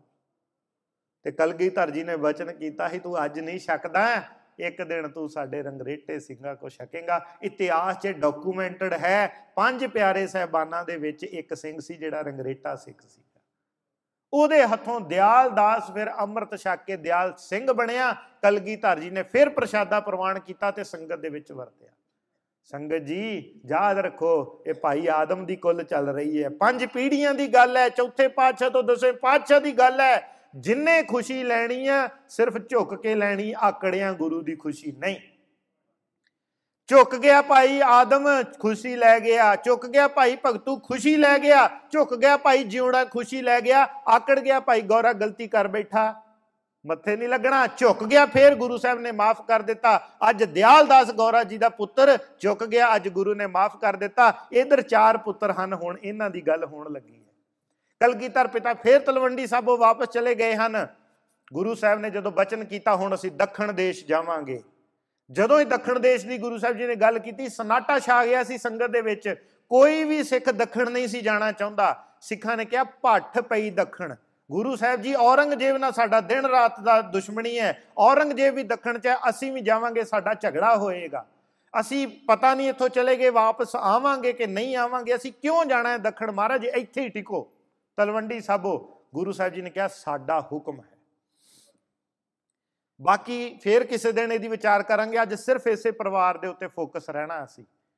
ਭਾਈ ਰਾਮ ਸਿੰਘ ਤੇ ਫਤਿਹ ਸਿੰਘ ਦੋਵੇਂ ਭਰਾ ਹਨ ਤੇ ਗੁਰੂ ਗੋਬਿੰਦ ਸਿੰਘ ਜੀ ਮਹਾਰਾਜ ਨੇ ਹੁਕਮ ਕਰ ਦਿੱਤਾ, ਰਾਮ ਸਿੰਘ ਤੇ ਫਤਿਹ ਸਿੰਘ ਤੁਸੀਂ ਸਾਡੇ ਨਾਲ ਦੱਖਣ ਨੂੰ ਚੱਲੋਗੇ। ਪਿੰਡਾਂ ਦੇ ਮਾਲਕ ਹਨ। ਰਾਮ ਸਿੰਘ ਤੇ ਫਤਿਹ ਸਿੰਘ ਸੋਚੀ ਪੈ ਗਏ। ਹੁਣ ਰਾਮ ਸਿੰਘ ਵੱਡਾ ਹੈ, ਰਾਮ ਸਿੰਘ ਚਲਾਕੀ ਕਰਦਾ ਹੈ। ਕਹਿੰਦਾ ਗੁਰੂ ਸਾਹਿਬ ਜੀ, ਆਪਾਂ ਫਤਿਹ ਸਿੰਘ ਨੂੰ ਛੱਡ ਜਾਈਏ, ਮੈਂ ਤੁਹਾਡੇ ਨਾਲ ਚੱਲਦਾ ਹਾਂ। ਮਨ 'ਚ ਕੀ ਹੈ? ਕਿ ਕਰੀ ਫਤਿਹ ਸਿੰਘ ਰਹਿ ਜਾਵੇ, ਰਾਹ 'ਚੋਂ ਮੈਂ ਵੀ ਕੋਈ ਬਹਾਨਾ ਮਾਰ ਕੇ ਮੁੜ ਕੇ ਆ ਜਾਵਾਂਗਾ, ਮੈਂ ਦੱਖਣ ਨਹੀਂ ਜਾਣਾ। ਗੁਰੂ ਸਾਹਿਬ ਕਹਿੰਦੇ, ਰਾਮ ਸਿੰਘ, ਤੁਸੀਂ ਕੀ ਕਰਨਾ? ਤੁਹਾਡੀ ਮਰਜ਼ੀ ਹੈ, ਪਰ ਸਾਡਾ ਹੁਕਮ ਹੈ ਦੋਵੇਂ ਭਰਾ ਚੱਲੋ। ਪਰ ਇਹ ਫਤਿਹ ਸਿੰਘ ਨੂੰ ਨਹੀਂ ਲੈ ਕੇ ਗਏ। ਜਦੋਂ ਕਲਗੀਧਰ ਪਿਤਾ ਉਥੋਂ ਦੱਖਣ ਨੂੰ ਚੱਲੇ, ਰਾਮ ਸਿੰਘ ਨਾਲ ਚੱਲਿਆ ਹੈ। ਸੰਗਤ ਜੀ, ਹਰਿਆਣੇ ਦੇ ਵਿੱਚ ਸਰਸਾ ਸ਼ਹਿਰ ਹੈ। ਉਹ ਤੋਂ ਅੱਗੇ ਸੁਹਾਵਾ ਸਾਹਿਬ ਨਾਂ ਦਾ ਸਥਾਨ ਹੈ ਰਾਜਸਥਾਨ ਦੇ ਵਿੱਚ। ਇਹਦੇ ਇਨ ਬਿਟਵੀਨ ਇਹ ਘਟਨਾ ਵਾਪਰੀ ਜਿਸ ਦੀ ਅਸੀਂ ਹੁਣ ਗੱਲ ਕਰਨ ਲੱਗੇ। ਗੁਰੂ ਸਾਹਿਬ ਜੀ ਦਾ ਕਾਫਲਾ ਚੱਲਦਾ ਹੈ, ਰਾਮ ਸਿੰਘ ਨਾਲ ਚੱਲਦਾ ਹੈ, ਪਰ ਅੰਦਰੋਂ ਅੰਦਰੋਂ ਨਹੀਂ ਨਾਲ ਚੱਲ ਰਿਹਾ, ਅੰਦਰੋਂ ਦੁਖੀ ਹੈ ਕਿ ਮੈਂ ਕਿਉਂ ਜਾ ਰਿਹਾ। ਅੱਜ ਅੱਜ ਸਵੇਰੇ, ਅੱਜ ਇੱਕ ਥਾਂ ਕਾਫਲਾ ਰੁਕਿਆ ਹੈ, ਸਵੇਰੇ ਕਲਗੀਧਰ ਪਿਤਾ ਜੀ ਦਾ ਕਾਫਲਾ ਅੱਗੇ ਨੂੰ ਚੱਲਿਆ ਤੇ ਰਾਮ ਸਿੰਘ ਚੁੱਪ ਚਪੀਤੇ ਹੀ ਪਿੱਛੇ ਨੂੰ ਚੱਲ ਪਿਆ। ਘਰ ਵੱਲ ਨੂੰ ਚੱਲ ਪਿਆ। ਯਾਦ ਕਰੋ ਉਸ ਕਲਗੀਧਰ ਪਿਤਾ ਨੂੰ, ਜਿਹਦੀਆਂ ਅੱਖਾਂ ਸਾਹਮਣੇ ਪੁੱਤਰ ਸ਼ਹੀਦ ਹੋਏ ਸੀਗੇ, ਜਕਾਰਾ ਹੀ ਛੱਡਿਆ ਸੀ, ਅਥਰੂ ਨਹੀਂ ਕੇਰਿਆ ਜਿਸ ਨੂੰ ਖਬਰ ਮਿਲੀ ਸੀ ਦੋ ਛੋਟੇ ਸਾਹਿਬਜ਼ਾਦਿਆਂ ਦੇ, ਸ਼ਹੀਦ ਹੋਣ ਦੀ, ਉਦੋਂ ਵੀ ਅਥਰੂ ਨਹੀਂ ਛੁੱਟਿਆ। ਪਰ ਅੱਜ ਅੱਜ ਆਪਣੇ ਪੁੱਤਰ, ਆਪਣੇ ਸਿੱਖ ਨੂੰ ਵੇਖੋ ਕਿੰਨਾ ਪਿਆਰ ਕਰਦੇ ਕਲਗੀਧਰ ਪਿਤਾ ਜੀ ਹੁਣ ਅੱਗੇ ਥੋੜੀ ਦੇਰ ਕਾਫਲਾ ਗਿਆ, ਕਹਿੰਦੇ ਸਿੰਘੋ ਰਾਮ ਸਿੰਘ ਨਹੀਂ ਦਿਖਦਾ। ਸਿੰਘ ਕਹਿੰਦੇ, ਮਹਾਰਾਜ, ਅਸੀਂ ਦੇਖਿਆ ਹੀ ਪਛਾਣ ਨੂੰ ਤੁਰਿਆ ਜਾਂਦਾ। ਗੁਰੂ ਸਾਹਿਬ ਜੀ ਨੇ ਉਸੇ ਵੇਲੇ ਇੱਕ ਸਿੰਘ ਦੌੜਾਇਆ, ਘੋੜ ਸਵਾਰ ਸਿੰਘ ਦੜਾਇਆ, ਕਹਿੰਦੇ ਭੱਜ ਕੇ ਜਾ, ਰਾਮ ਸਿੰਘ ਨੂੰ ਬੁਲਾ ਕੇ ਲਿਆ। ਰਾਮ ਸਿੰਘ ਨੂੰ ਕਹਿ, ਅਸੀਂ ਤੈਨੂੰ ਕੁਝ ਨਹੀਂ ਕਹਿੰਦੇ, ਤੂੰ ਵਾਪਸ ਆ ਜਾ। ਸਿੰਘ ਘੋੜਾ ਦੜਾ ਕੇ ਰਾਮ ਸਿੰਘ ਤੱਕ ਪਹੁੰਚਿਆ। ਜਾ ਕੇ ਰਾਮ ਸਿੰਘ ਨੂੰ ਕਹਿੰਦਾ, ਗੁਰੂ ਸਾਹਿਬ ਕਹਿੰਦੇ ਹਨ, ਰਾਮ ਸਿਆ, ਵਾਪਸ ਆ ਜਾ, ਅਸੀਂ ਤੈਨੂੰ ਕੁਝ ਨਹੀਂ ਕਹਿੰਦੇ। ਰਾਮ ਸਿੰਘ ਕਹਿੰਦਾ, ਮੈਂ ਨਹੀਂ ਆਉਣਾ। ਇਹ ਭਾਈ ਆਦਮ, ਭਾਈ ਭਗਤੂ ਦੀ ਔਲਾਦ ਹੈ ਜੀ। ਆਪਾਂ ਵੀ ਤਾਂ ਗੁਰਸਿੱਖਾਂ ਦੀਆਂ ਔਲਾਦਾਂ ਹੀ ਬੈਠੀਆਂ ਅੱਗੇ। ਭਾਈ ਰਾਮ ਸਿੰਘ ਕਹਿੰਦਾ, ਮੈਂ ਨਹੀਂ ਆਉਣਾ। ਹੁਣ ਸਿੰਘ ਵਾਪਸ ਕਲਗੀਧਰ ਜੀ ਦਾ, ਹੁਣ ਕਾਫਲਾ ਗੁਰੂ ਸਾਹਿਬ ਜੀ ਦਾ ਇੱਧਰ ਨੂੰ ਜਾ ਰਿਹਾ ਹੈ, ਰਾਮ ਸਿੰਘ ਇੱਧਰ ਜਾ ਰਿਹਾ ਹੈ ਡਿਸਟੈਂਸ ਵੱਧਦਾ ਜਾਂਦਾ ਸਿੰਘ ਘੋੜਾ ਦੜਾ ਕੇ ਗੁਰੂ ਸਾਹਿਬ ਕੋਲ ਪਹੁੰਚਿਆ। ਗੁਰੂ ਸਾਹਿਬ ਜੀ, ਰਾਮ ਸਿੰਘ ਕਹਿੰਦਾ, ਮੈਂ ਨਹੀਂ ਆਉਣਾ। ਕਲਗੀਧਰ ਜੀ ਨੇ ਕੁਝ ਸਕਿੰਟਾਂ ਲਈ ਸੋਚਿਆ, ਕਹਿੰਦੇ, ਜਾ ਫੇਰ ਜਾ ਸਿੰਘਾ। ਜਾ ਫੇਰ ਜਾ। ਇੰਨੀ ਵਾਰੀ ਤੇ ਆਪਣੇ ਅਜੀਤ ਸਿੰਘ ਨੂੰ ਨਹੀਂ ਰੋਕਿਆ। ਬਾਬਾ ਦਇਆ ਸਿੰਘ ਜੀ, ਭਾਈ ਦਇਆ ਸਿੰਘ ਜੀ, ਧਰਮ ਸਿੰਘ ਜੀ, ਰੋਕਦੇ ਰਹਿ ਗਏ ਸਿੰਘ ਗੁਰੂ ਸਾਹਿਬ ਜੀ, ਅਜੀਤ ਸਿੰਘ ਜਜਾਰ ਸਿੰਘ ਨੂੰ ਨਾ ਭੇਜੋ, ਕਹਿੰਦੇ ਨਹੀਂ, ਇਹ ਜਾਣਗੇ, ਜੰਗ 'ਚ ਜੂਝਣਗੇ, ਸ਼ਹੀਦ ਹੋਣਗੇ। ਹੁਣ ਅੱਜ ਸਿੱਖ ਵਾਸਤੇ ਦੂਜੀ ਵਾਰੀ ਘੋੜਾ ਮੋੜ ਦਿੱਤਾ ਕਹਿੰਦੇ ਕਹਿੰਦੇ ਜਾ ਸਿੱਖਾ, ਜਾ ਕੇ ਉਤਰ ਜੀ ਰਾਮ ਸਿੰਘ ਦੇ ਅੱਗੇ ਤੇ ਰਾਮ ਸਿੰਘ ਦੇ ਅੱਗੇ ਤਿੰਨ ਲੀਕਾਂ ਖਿੱਚ ਦਈ ਤੇ ਕਹਿ ਦਈ ਰਾਮ ਸਿਆ, ਗੁਰੂ ਸਾਹਿਬ ਦਾ ਹੁਕਮ ਹੈ ਲੀਕਾਂ ਨਾ ਟੱਪੀ। ਸਿੱਖ ਨੇ ਫੇਰ ਘੋੜਾ ਦੜਾਇਆ, ਪਹੁੰਚ ਗਿਆ ਰਾਮ ਸਿੰਘ ਤੱਕ। ਜਾ ਕੇ ਉਤਰ ਕੇ ਖਿੱਚ ਦਿੱਤੀਆਂ ਲੀਕਾਂ ਤੇ ਕਹਿ ਦਿੱਤਾ, ਕਲਗੀ ਧਰ ਪਿਤਾ ਦਾ ਹੁਕਮ ਹੈ, ਰਾਮ ਸਿਆ ਲੀਕਾਂ ਨਾ ਟੱਪੀ। ਰਾਮ ਸਿੰਘ ਨੇ ਇੱਕ ਦੋ ਸਕਿੰਟ ਸੋਚਿਆ, ਲੀਕਾਂ ਟੱਪ ਗਿਆ। ਲੀਕਾਂ ਟੱਪ ਗਿਆ, ਸਿੱਖ ਵਿਚਾਰਾ ਕੀ ਕਰੇ? ਸਿੱਖ ਵਿਚਾਰਾ ਫੇਰ ਆਇਆ ਘੋੜਾ ਦੜਾ ਕੇ ਕਲਗੀਧਰ ਪਿਤਾ ਜੀ ਤੱਕ ਪਹੁੰਚਿਆ। ਜਾ ਕੇ ਕਹਿੰਦਾ, ਮਹਾਰਾਜ ਜੀ, ਰਾਮ ਸਿੰਘ ਲੀਕਾਂ ਟੱਪ ਗਿਆ। ਰੋਕਦੇ ਆ ਮਹਾਰਾਜ, ਸਿੱਖਾ ਮਰਿਆਦਾ ਹੈ ਤੇਰੇ ਤੇ, ਰਹਿਤ ਪਿਆਰੀ ਮੁਝ ਕੋ ਸਿੱਖ ਪਿਆਰਾ ਨਾ ਰੋਕਦੇ ਸਿੱਖਾ, ਰਹਿਤ ਚ ਰਿਆ ਕਰ, ਪਰ ਸਿੱਖ ਟੱਪ ਜਾਂਦਾ ਰਹਿਤ ਦੀਆਂ ਲੀਕਾਂ। ਨਹੀਂ ਮੰਨਦਾ ਗੁਰੂ ਦੀ, ਮੈਂ ਤੇ ਪੁੱਤਰ ਵਿਆਹਣਾ ਆਇਆ, ਮੈਂ ਤੇ ਧੀ ਵਿਆਹਣੀ ਹੈ। ਗੁਰੂ ਤੋਂ ਛੱਡ ਕੇ, ਗੁਰੂ ਨੂੰ ਛੱਡ ਕੇ ਵਿਆਹਣੀ। ਔਰ ਇੱਥੋਂ ਤੱਕ ਹੈ ਗੁਰੂ ਸਾਹਿਬ, ਤੇਰੇ ਸਾਹਮਣੇ ਹੀ ਵਿਆਹਣੇ ਜਿੱਦਾਂ ਮਰਜ਼ੀ ਕਰ ਲੈ। ਇੱਥੇ ਹੀ ਵਿਆਹਣੇ, ਮਰਿਆਦਾ ਤੋਂ ਬਾਹਰ ਜਾ ਕੇ। ਹੁਣ ਸਿੱਖ ਵਾਪਸ ਕਲਗੀਧਰ ਜੀ ਕੋਲ ਪਹੁੰਚਿਆ, ਦੂਜੀ ਵਾਰੀ ਜਾ ਕੇ ਕਹਿੰਦਾ, ਕਲਗੀਧਰ ਪਿਤਾ ਜੀ, ਰਾਮ ਸਿੰਘ ਲੀਕਾ ਟੱਪ ਗਿਆ।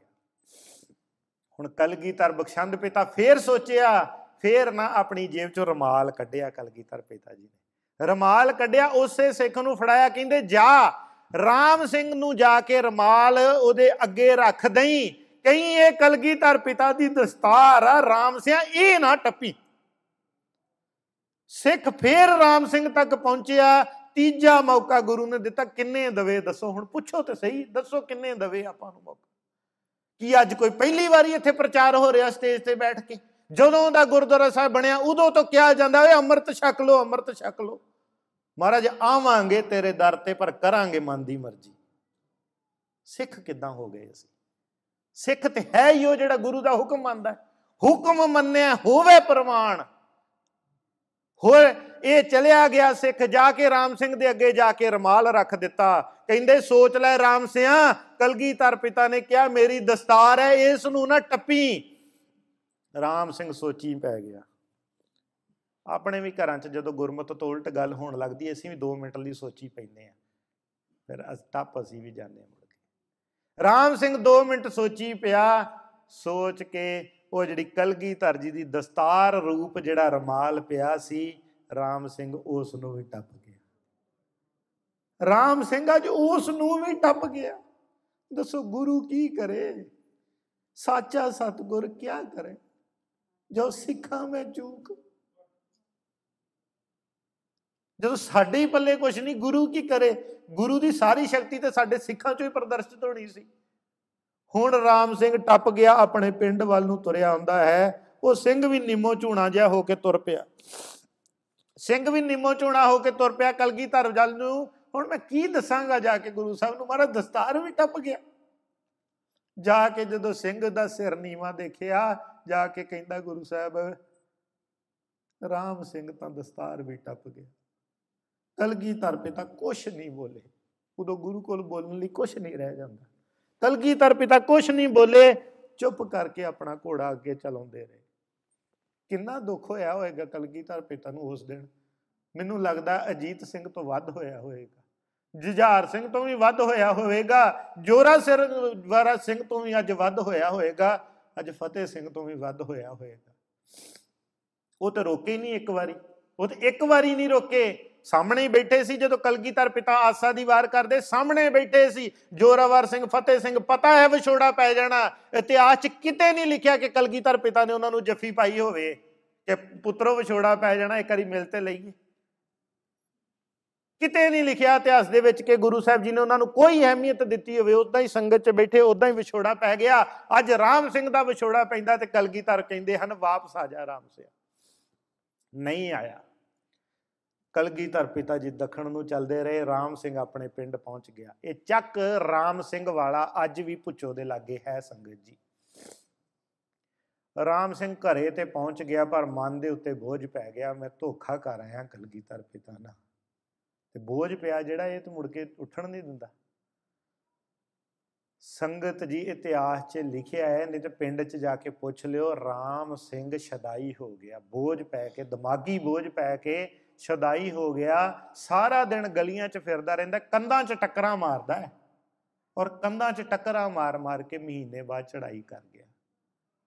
ਗੁਰੂ ਨੂੰ ਪਿੱਠ ਦੇਣ ਦਾ ਨਤੀਜਾ, ਗੁਰੂ ਨਾਲ ਧੋਖਾ ਕਰਨ ਦਾ ਨਤੀਜਾ। ਅਸੀਂ ਇਹ ਕਹਿੰਨੇ ਅੱਜ ਸਾਡੇ ਧੀਆਂ ਪੁੱਤਰ ਆਖੇ ਨਹੀਂ ਲੱਗਦੇ। ਅਸੀਂ ਗੁਰੂ ਦੇ ਆਖੇ ਲੱਗਦੇ ਆ ਜੇ ਅਸੀਂ ਲੱਗਦੇ, ਸ਼ਾਇਦ ਉਹ ਵੀ ਸਾਡੇ ਆਖੇ ਲੱਗ ਜਾਂਦੇ। ਸਾਡੇ ਧੀਆਂ ਪੁੱਤਰਾਂ ਨੂੰ ਵਿਗਾੜਨ ਵਿੱਚ ਸਾਡਾ ਆਪਾਂ ਅਸੀਂ ਕਾਰਨ ਹਾਂ।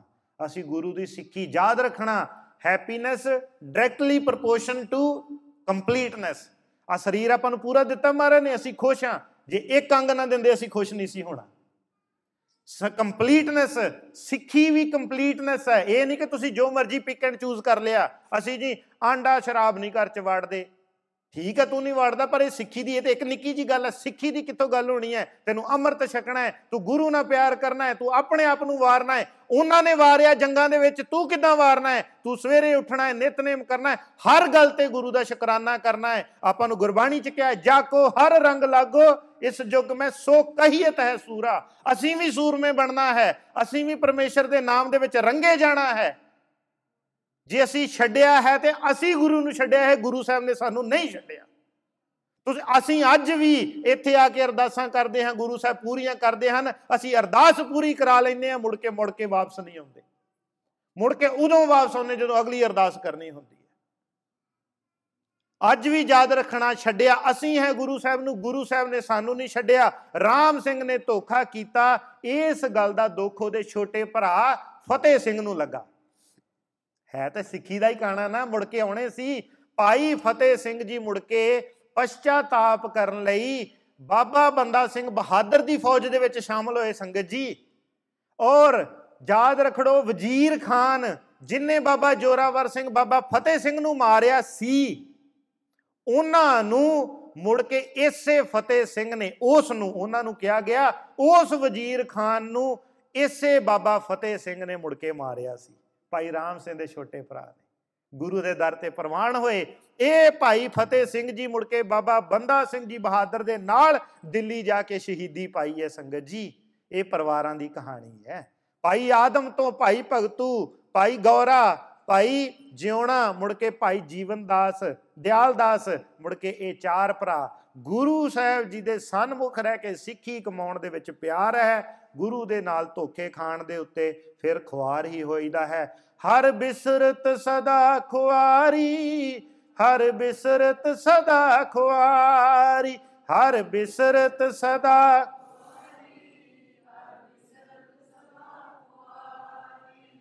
ਤਾਕੋ ਤੋਖਾ ਕਹਾਂ ਬਿਆਪੈ, ਜਾ ਕੋ ਓਟ ਤੁਹਾਰੀ, ਹਰ ਬਿਸਰਤ ਸਦਾ ਖੁਆਰੀ ਹਰ ਬਿਸਰਤ ਸਦਾ ਖੁਆਰੀ ਹਰ ਬਿਸਰਤ ਸਦਾ ਖੁਆਰੀ ਹੁੰਦੀ ਹੈ ਭਾਈ ਪਰਮੇਸ਼ਰ ਨੂੰ ਭੁੱਲ ਕੇ, ਗੁਰੂ ਨੂੰ ਛੱਡ ਕੇ ਖੁਆਰ ਔਰ ਖੁਆਰ ਹੋ ਰਹੇ ਹਾਂ ਸੰਗਤ ਜੀ ਅਸੀਂ।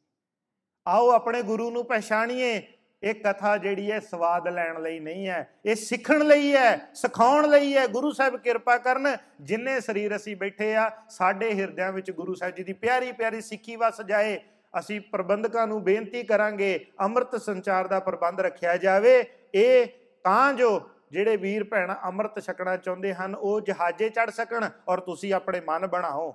ਆਪਣੇ ਮਨ ਬਣਾਓ। ਦੁਨੀਆ ਖੁਸ਼ ਕਰਦੇ ਕਰਦੇ ਅਸੀਂ ਮਰ ਜਾਣਾ, ਦੁਨੀਆ ਨੇ ਖੁਸ਼ ਨਹੀਂ ਹੋਣਾ। ਤੇ ਗੁਰੂ ਸਾਹਿਬ ਨੂੰ ਖੁਸ਼ ਕਰਨ ਦੀ ਕੋਸ਼ਿਸ਼ ਕਰੀਓ ਤੇ ਬੈਠੇ ਆ ਪੁੱਤਰ। ਇਹ ਕਰੀ ਕਹਿ ਤੇ ਸਹੀ, ਮੈਂ ਤੇ ਤੇਰੇ ਤੇ ਖੁਸ਼ ਹਾਂ ਭਾਈ। ਉਹ ਕੋਸ਼ਿਸ਼ ਨਹੀਂ ਕਰਦੇ, ਦੁਨੀਆ ਇਹਨੂੰ ਖੁਸ਼ ਕਰ ਲਿਆ, ਅਗਲੇ ਉਹਨੂੰ ਖੁਸ਼ ਕੀਤਾ, ਉਹਨੇ ਜਰ ਨੂੰ ਪਹਿਲਾਂ ਨਾਰਾਜ਼, ਤੀਜੇ ਨੂੰ ਖੁਸ਼ ਕੀਤਾ, ਪਹਿਲੇ ਦੋ ਨਾਰਾਜ਼। ਇਸੇ ਦੇ ਵਿੱਚ ਸਾਡਾ ਜੀਵਨ ਬਤੀਤ ਹੋ ਜਾਂਦਾ ਹੈ। ਆਓ ਗੁਰੂ ਸਾਹਿਬ ਕਿਰਪਾ ਕਰਨ ਸੰਗਤ ਜੀ, ਪੜ੍ਹੀਏ। ਮੇਰਾ ਰੁੱਸੇ ਨਾ ਕਲਗੀਆਂ ਵਾਲਾ, ਜਗ ਭਾਵੇਂ ਸਾਰਾ ਰੁੱਸ ਜੇ ਮੇਰਾ।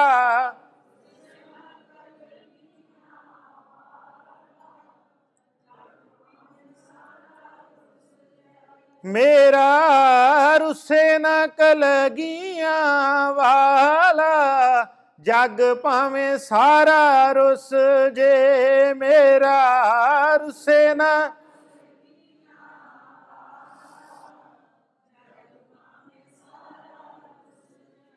ਸੰਗਤ ਜੀ, ਗੁਰੂ ਸਾਹਿਬ ਜੀ ਦਾ ਇਤਿਹਾਸ ਸਾਡੀ ਸਮਝ ਤੋਂ ਬਾਹਰ ਹੈ। ਜਿੰਨਾ ਕਿ ਸਾਨੂੰ ਸਮਝ ਆਇਆ, ਤੁਹਾਡੇ ਨਾਲ ਸਾਂਝ ਪਾਉਣ ਦੀ ਕੋਸ਼ਿਸ਼ ਕੀਤੀ, ਆਪ ਜੀ ਨੇ ਇਸ ਨੂੰ ਹਿਰਦੇ 'ਚ ਵਸਾਉਣਾ, ਗੁਰੂ ਸਾਹਿਬ ਜੀ ਦਾ ਪਿਆਰ ਮਹਿਸੂਸ ਕਰਨਾ ਤੇ ਗੁਰੂ ਸਾਹਿਬ ਜੀ ਦੇ ਖੰਡੇ ਬਾਟੇ ਦੀ ਤਿਆਰੀ ਕਰੋ, ਨਿਤਨੇਮੀ ਹੋਵੋ, ਆਪਾਂ ਗੁਰੂ ਸਾਹਿਬ ਜੀ ਦੀਆਂ ਖੁਸ਼ੀਆਂ ਲੈਣੀਆਂ ਹਨ। ਇਹੀ ਭਈ ਪ੍ਰਾਪਤ ਮਾਨੁਖ ਦੇ ਹਰੀਆ, ਗੋਬਿੰਦ ਮਿਲਣ ਕੀ ਤੇਰੀ ਬਰੀਆ ਦੀ ਖੇਡ ਹੈ। ਗੁਰੂ ਸਾਹਿਬ ਕਿਰਪਾ ਕਰਨ ਸਾਡੀਆਂ ਹੋਈਆਂ ਭੁੱਲਾਂ ਨੂੰ ਮੁਆਫ ਕਰ ਦੇਣਾ ਗੁਰੂ ਸਾਹਿਬ ਜੀ ਨੇ ਸਬੱਬ ਬਖਸ਼ਿਆ ਹੈ। ਅਗਲੇ 4-5 ਦਿਨ ਆਪ ਜੀ ਦੇ ਨਾਲ ਸਾਂਝਾ ਪਾਉਣ ਗੁਰੂ ਸਾਹਿਬ, ਆਪ ਜੀ ਨੇ ਇਸੇ ਤਰ੍ਹਾਂ ਹੀ ਹਾਜ਼ਰੀਆਂ ਭਰਦੇ ਰਹਿਣਾ। ਆਪਾਂ ਸਾਰੇ ਰਲ ਮਿਲ ਕੇ ਤਨ ਤਨ ਸ੍ਰੀ ਗੁਰੂ ਨਾਨਕ ਦੇਵ ਸਾਹਿਬ ਜੀ ਦੇ ਦਰ ਦੇ ਭੌਰੇ ਬਣ ਸਕੀਏ, ਕਲਗੀਧਰ ਪਿਤਾ ਜੀ ਦੇ ਪੁੱਤਰ ਧੀਆਂ ਖਵਾ ਸਕੀਏ। ਹੋਈਆਂ ਭੁੱਲਾਂ ਦੀ ਮੁਆਫੀ ਗੱਜ ਕੇ ਫਤਿਹ ਬੁਲਾਓ ਜੀ। ਵਾਹਿਗੁਰੂ ਜੀ ਕਾ ਖਾਲਸਾ, ਵਾਹਿਗੁਰੂ ਜੀ ਕੀ ਫਤਿਹ।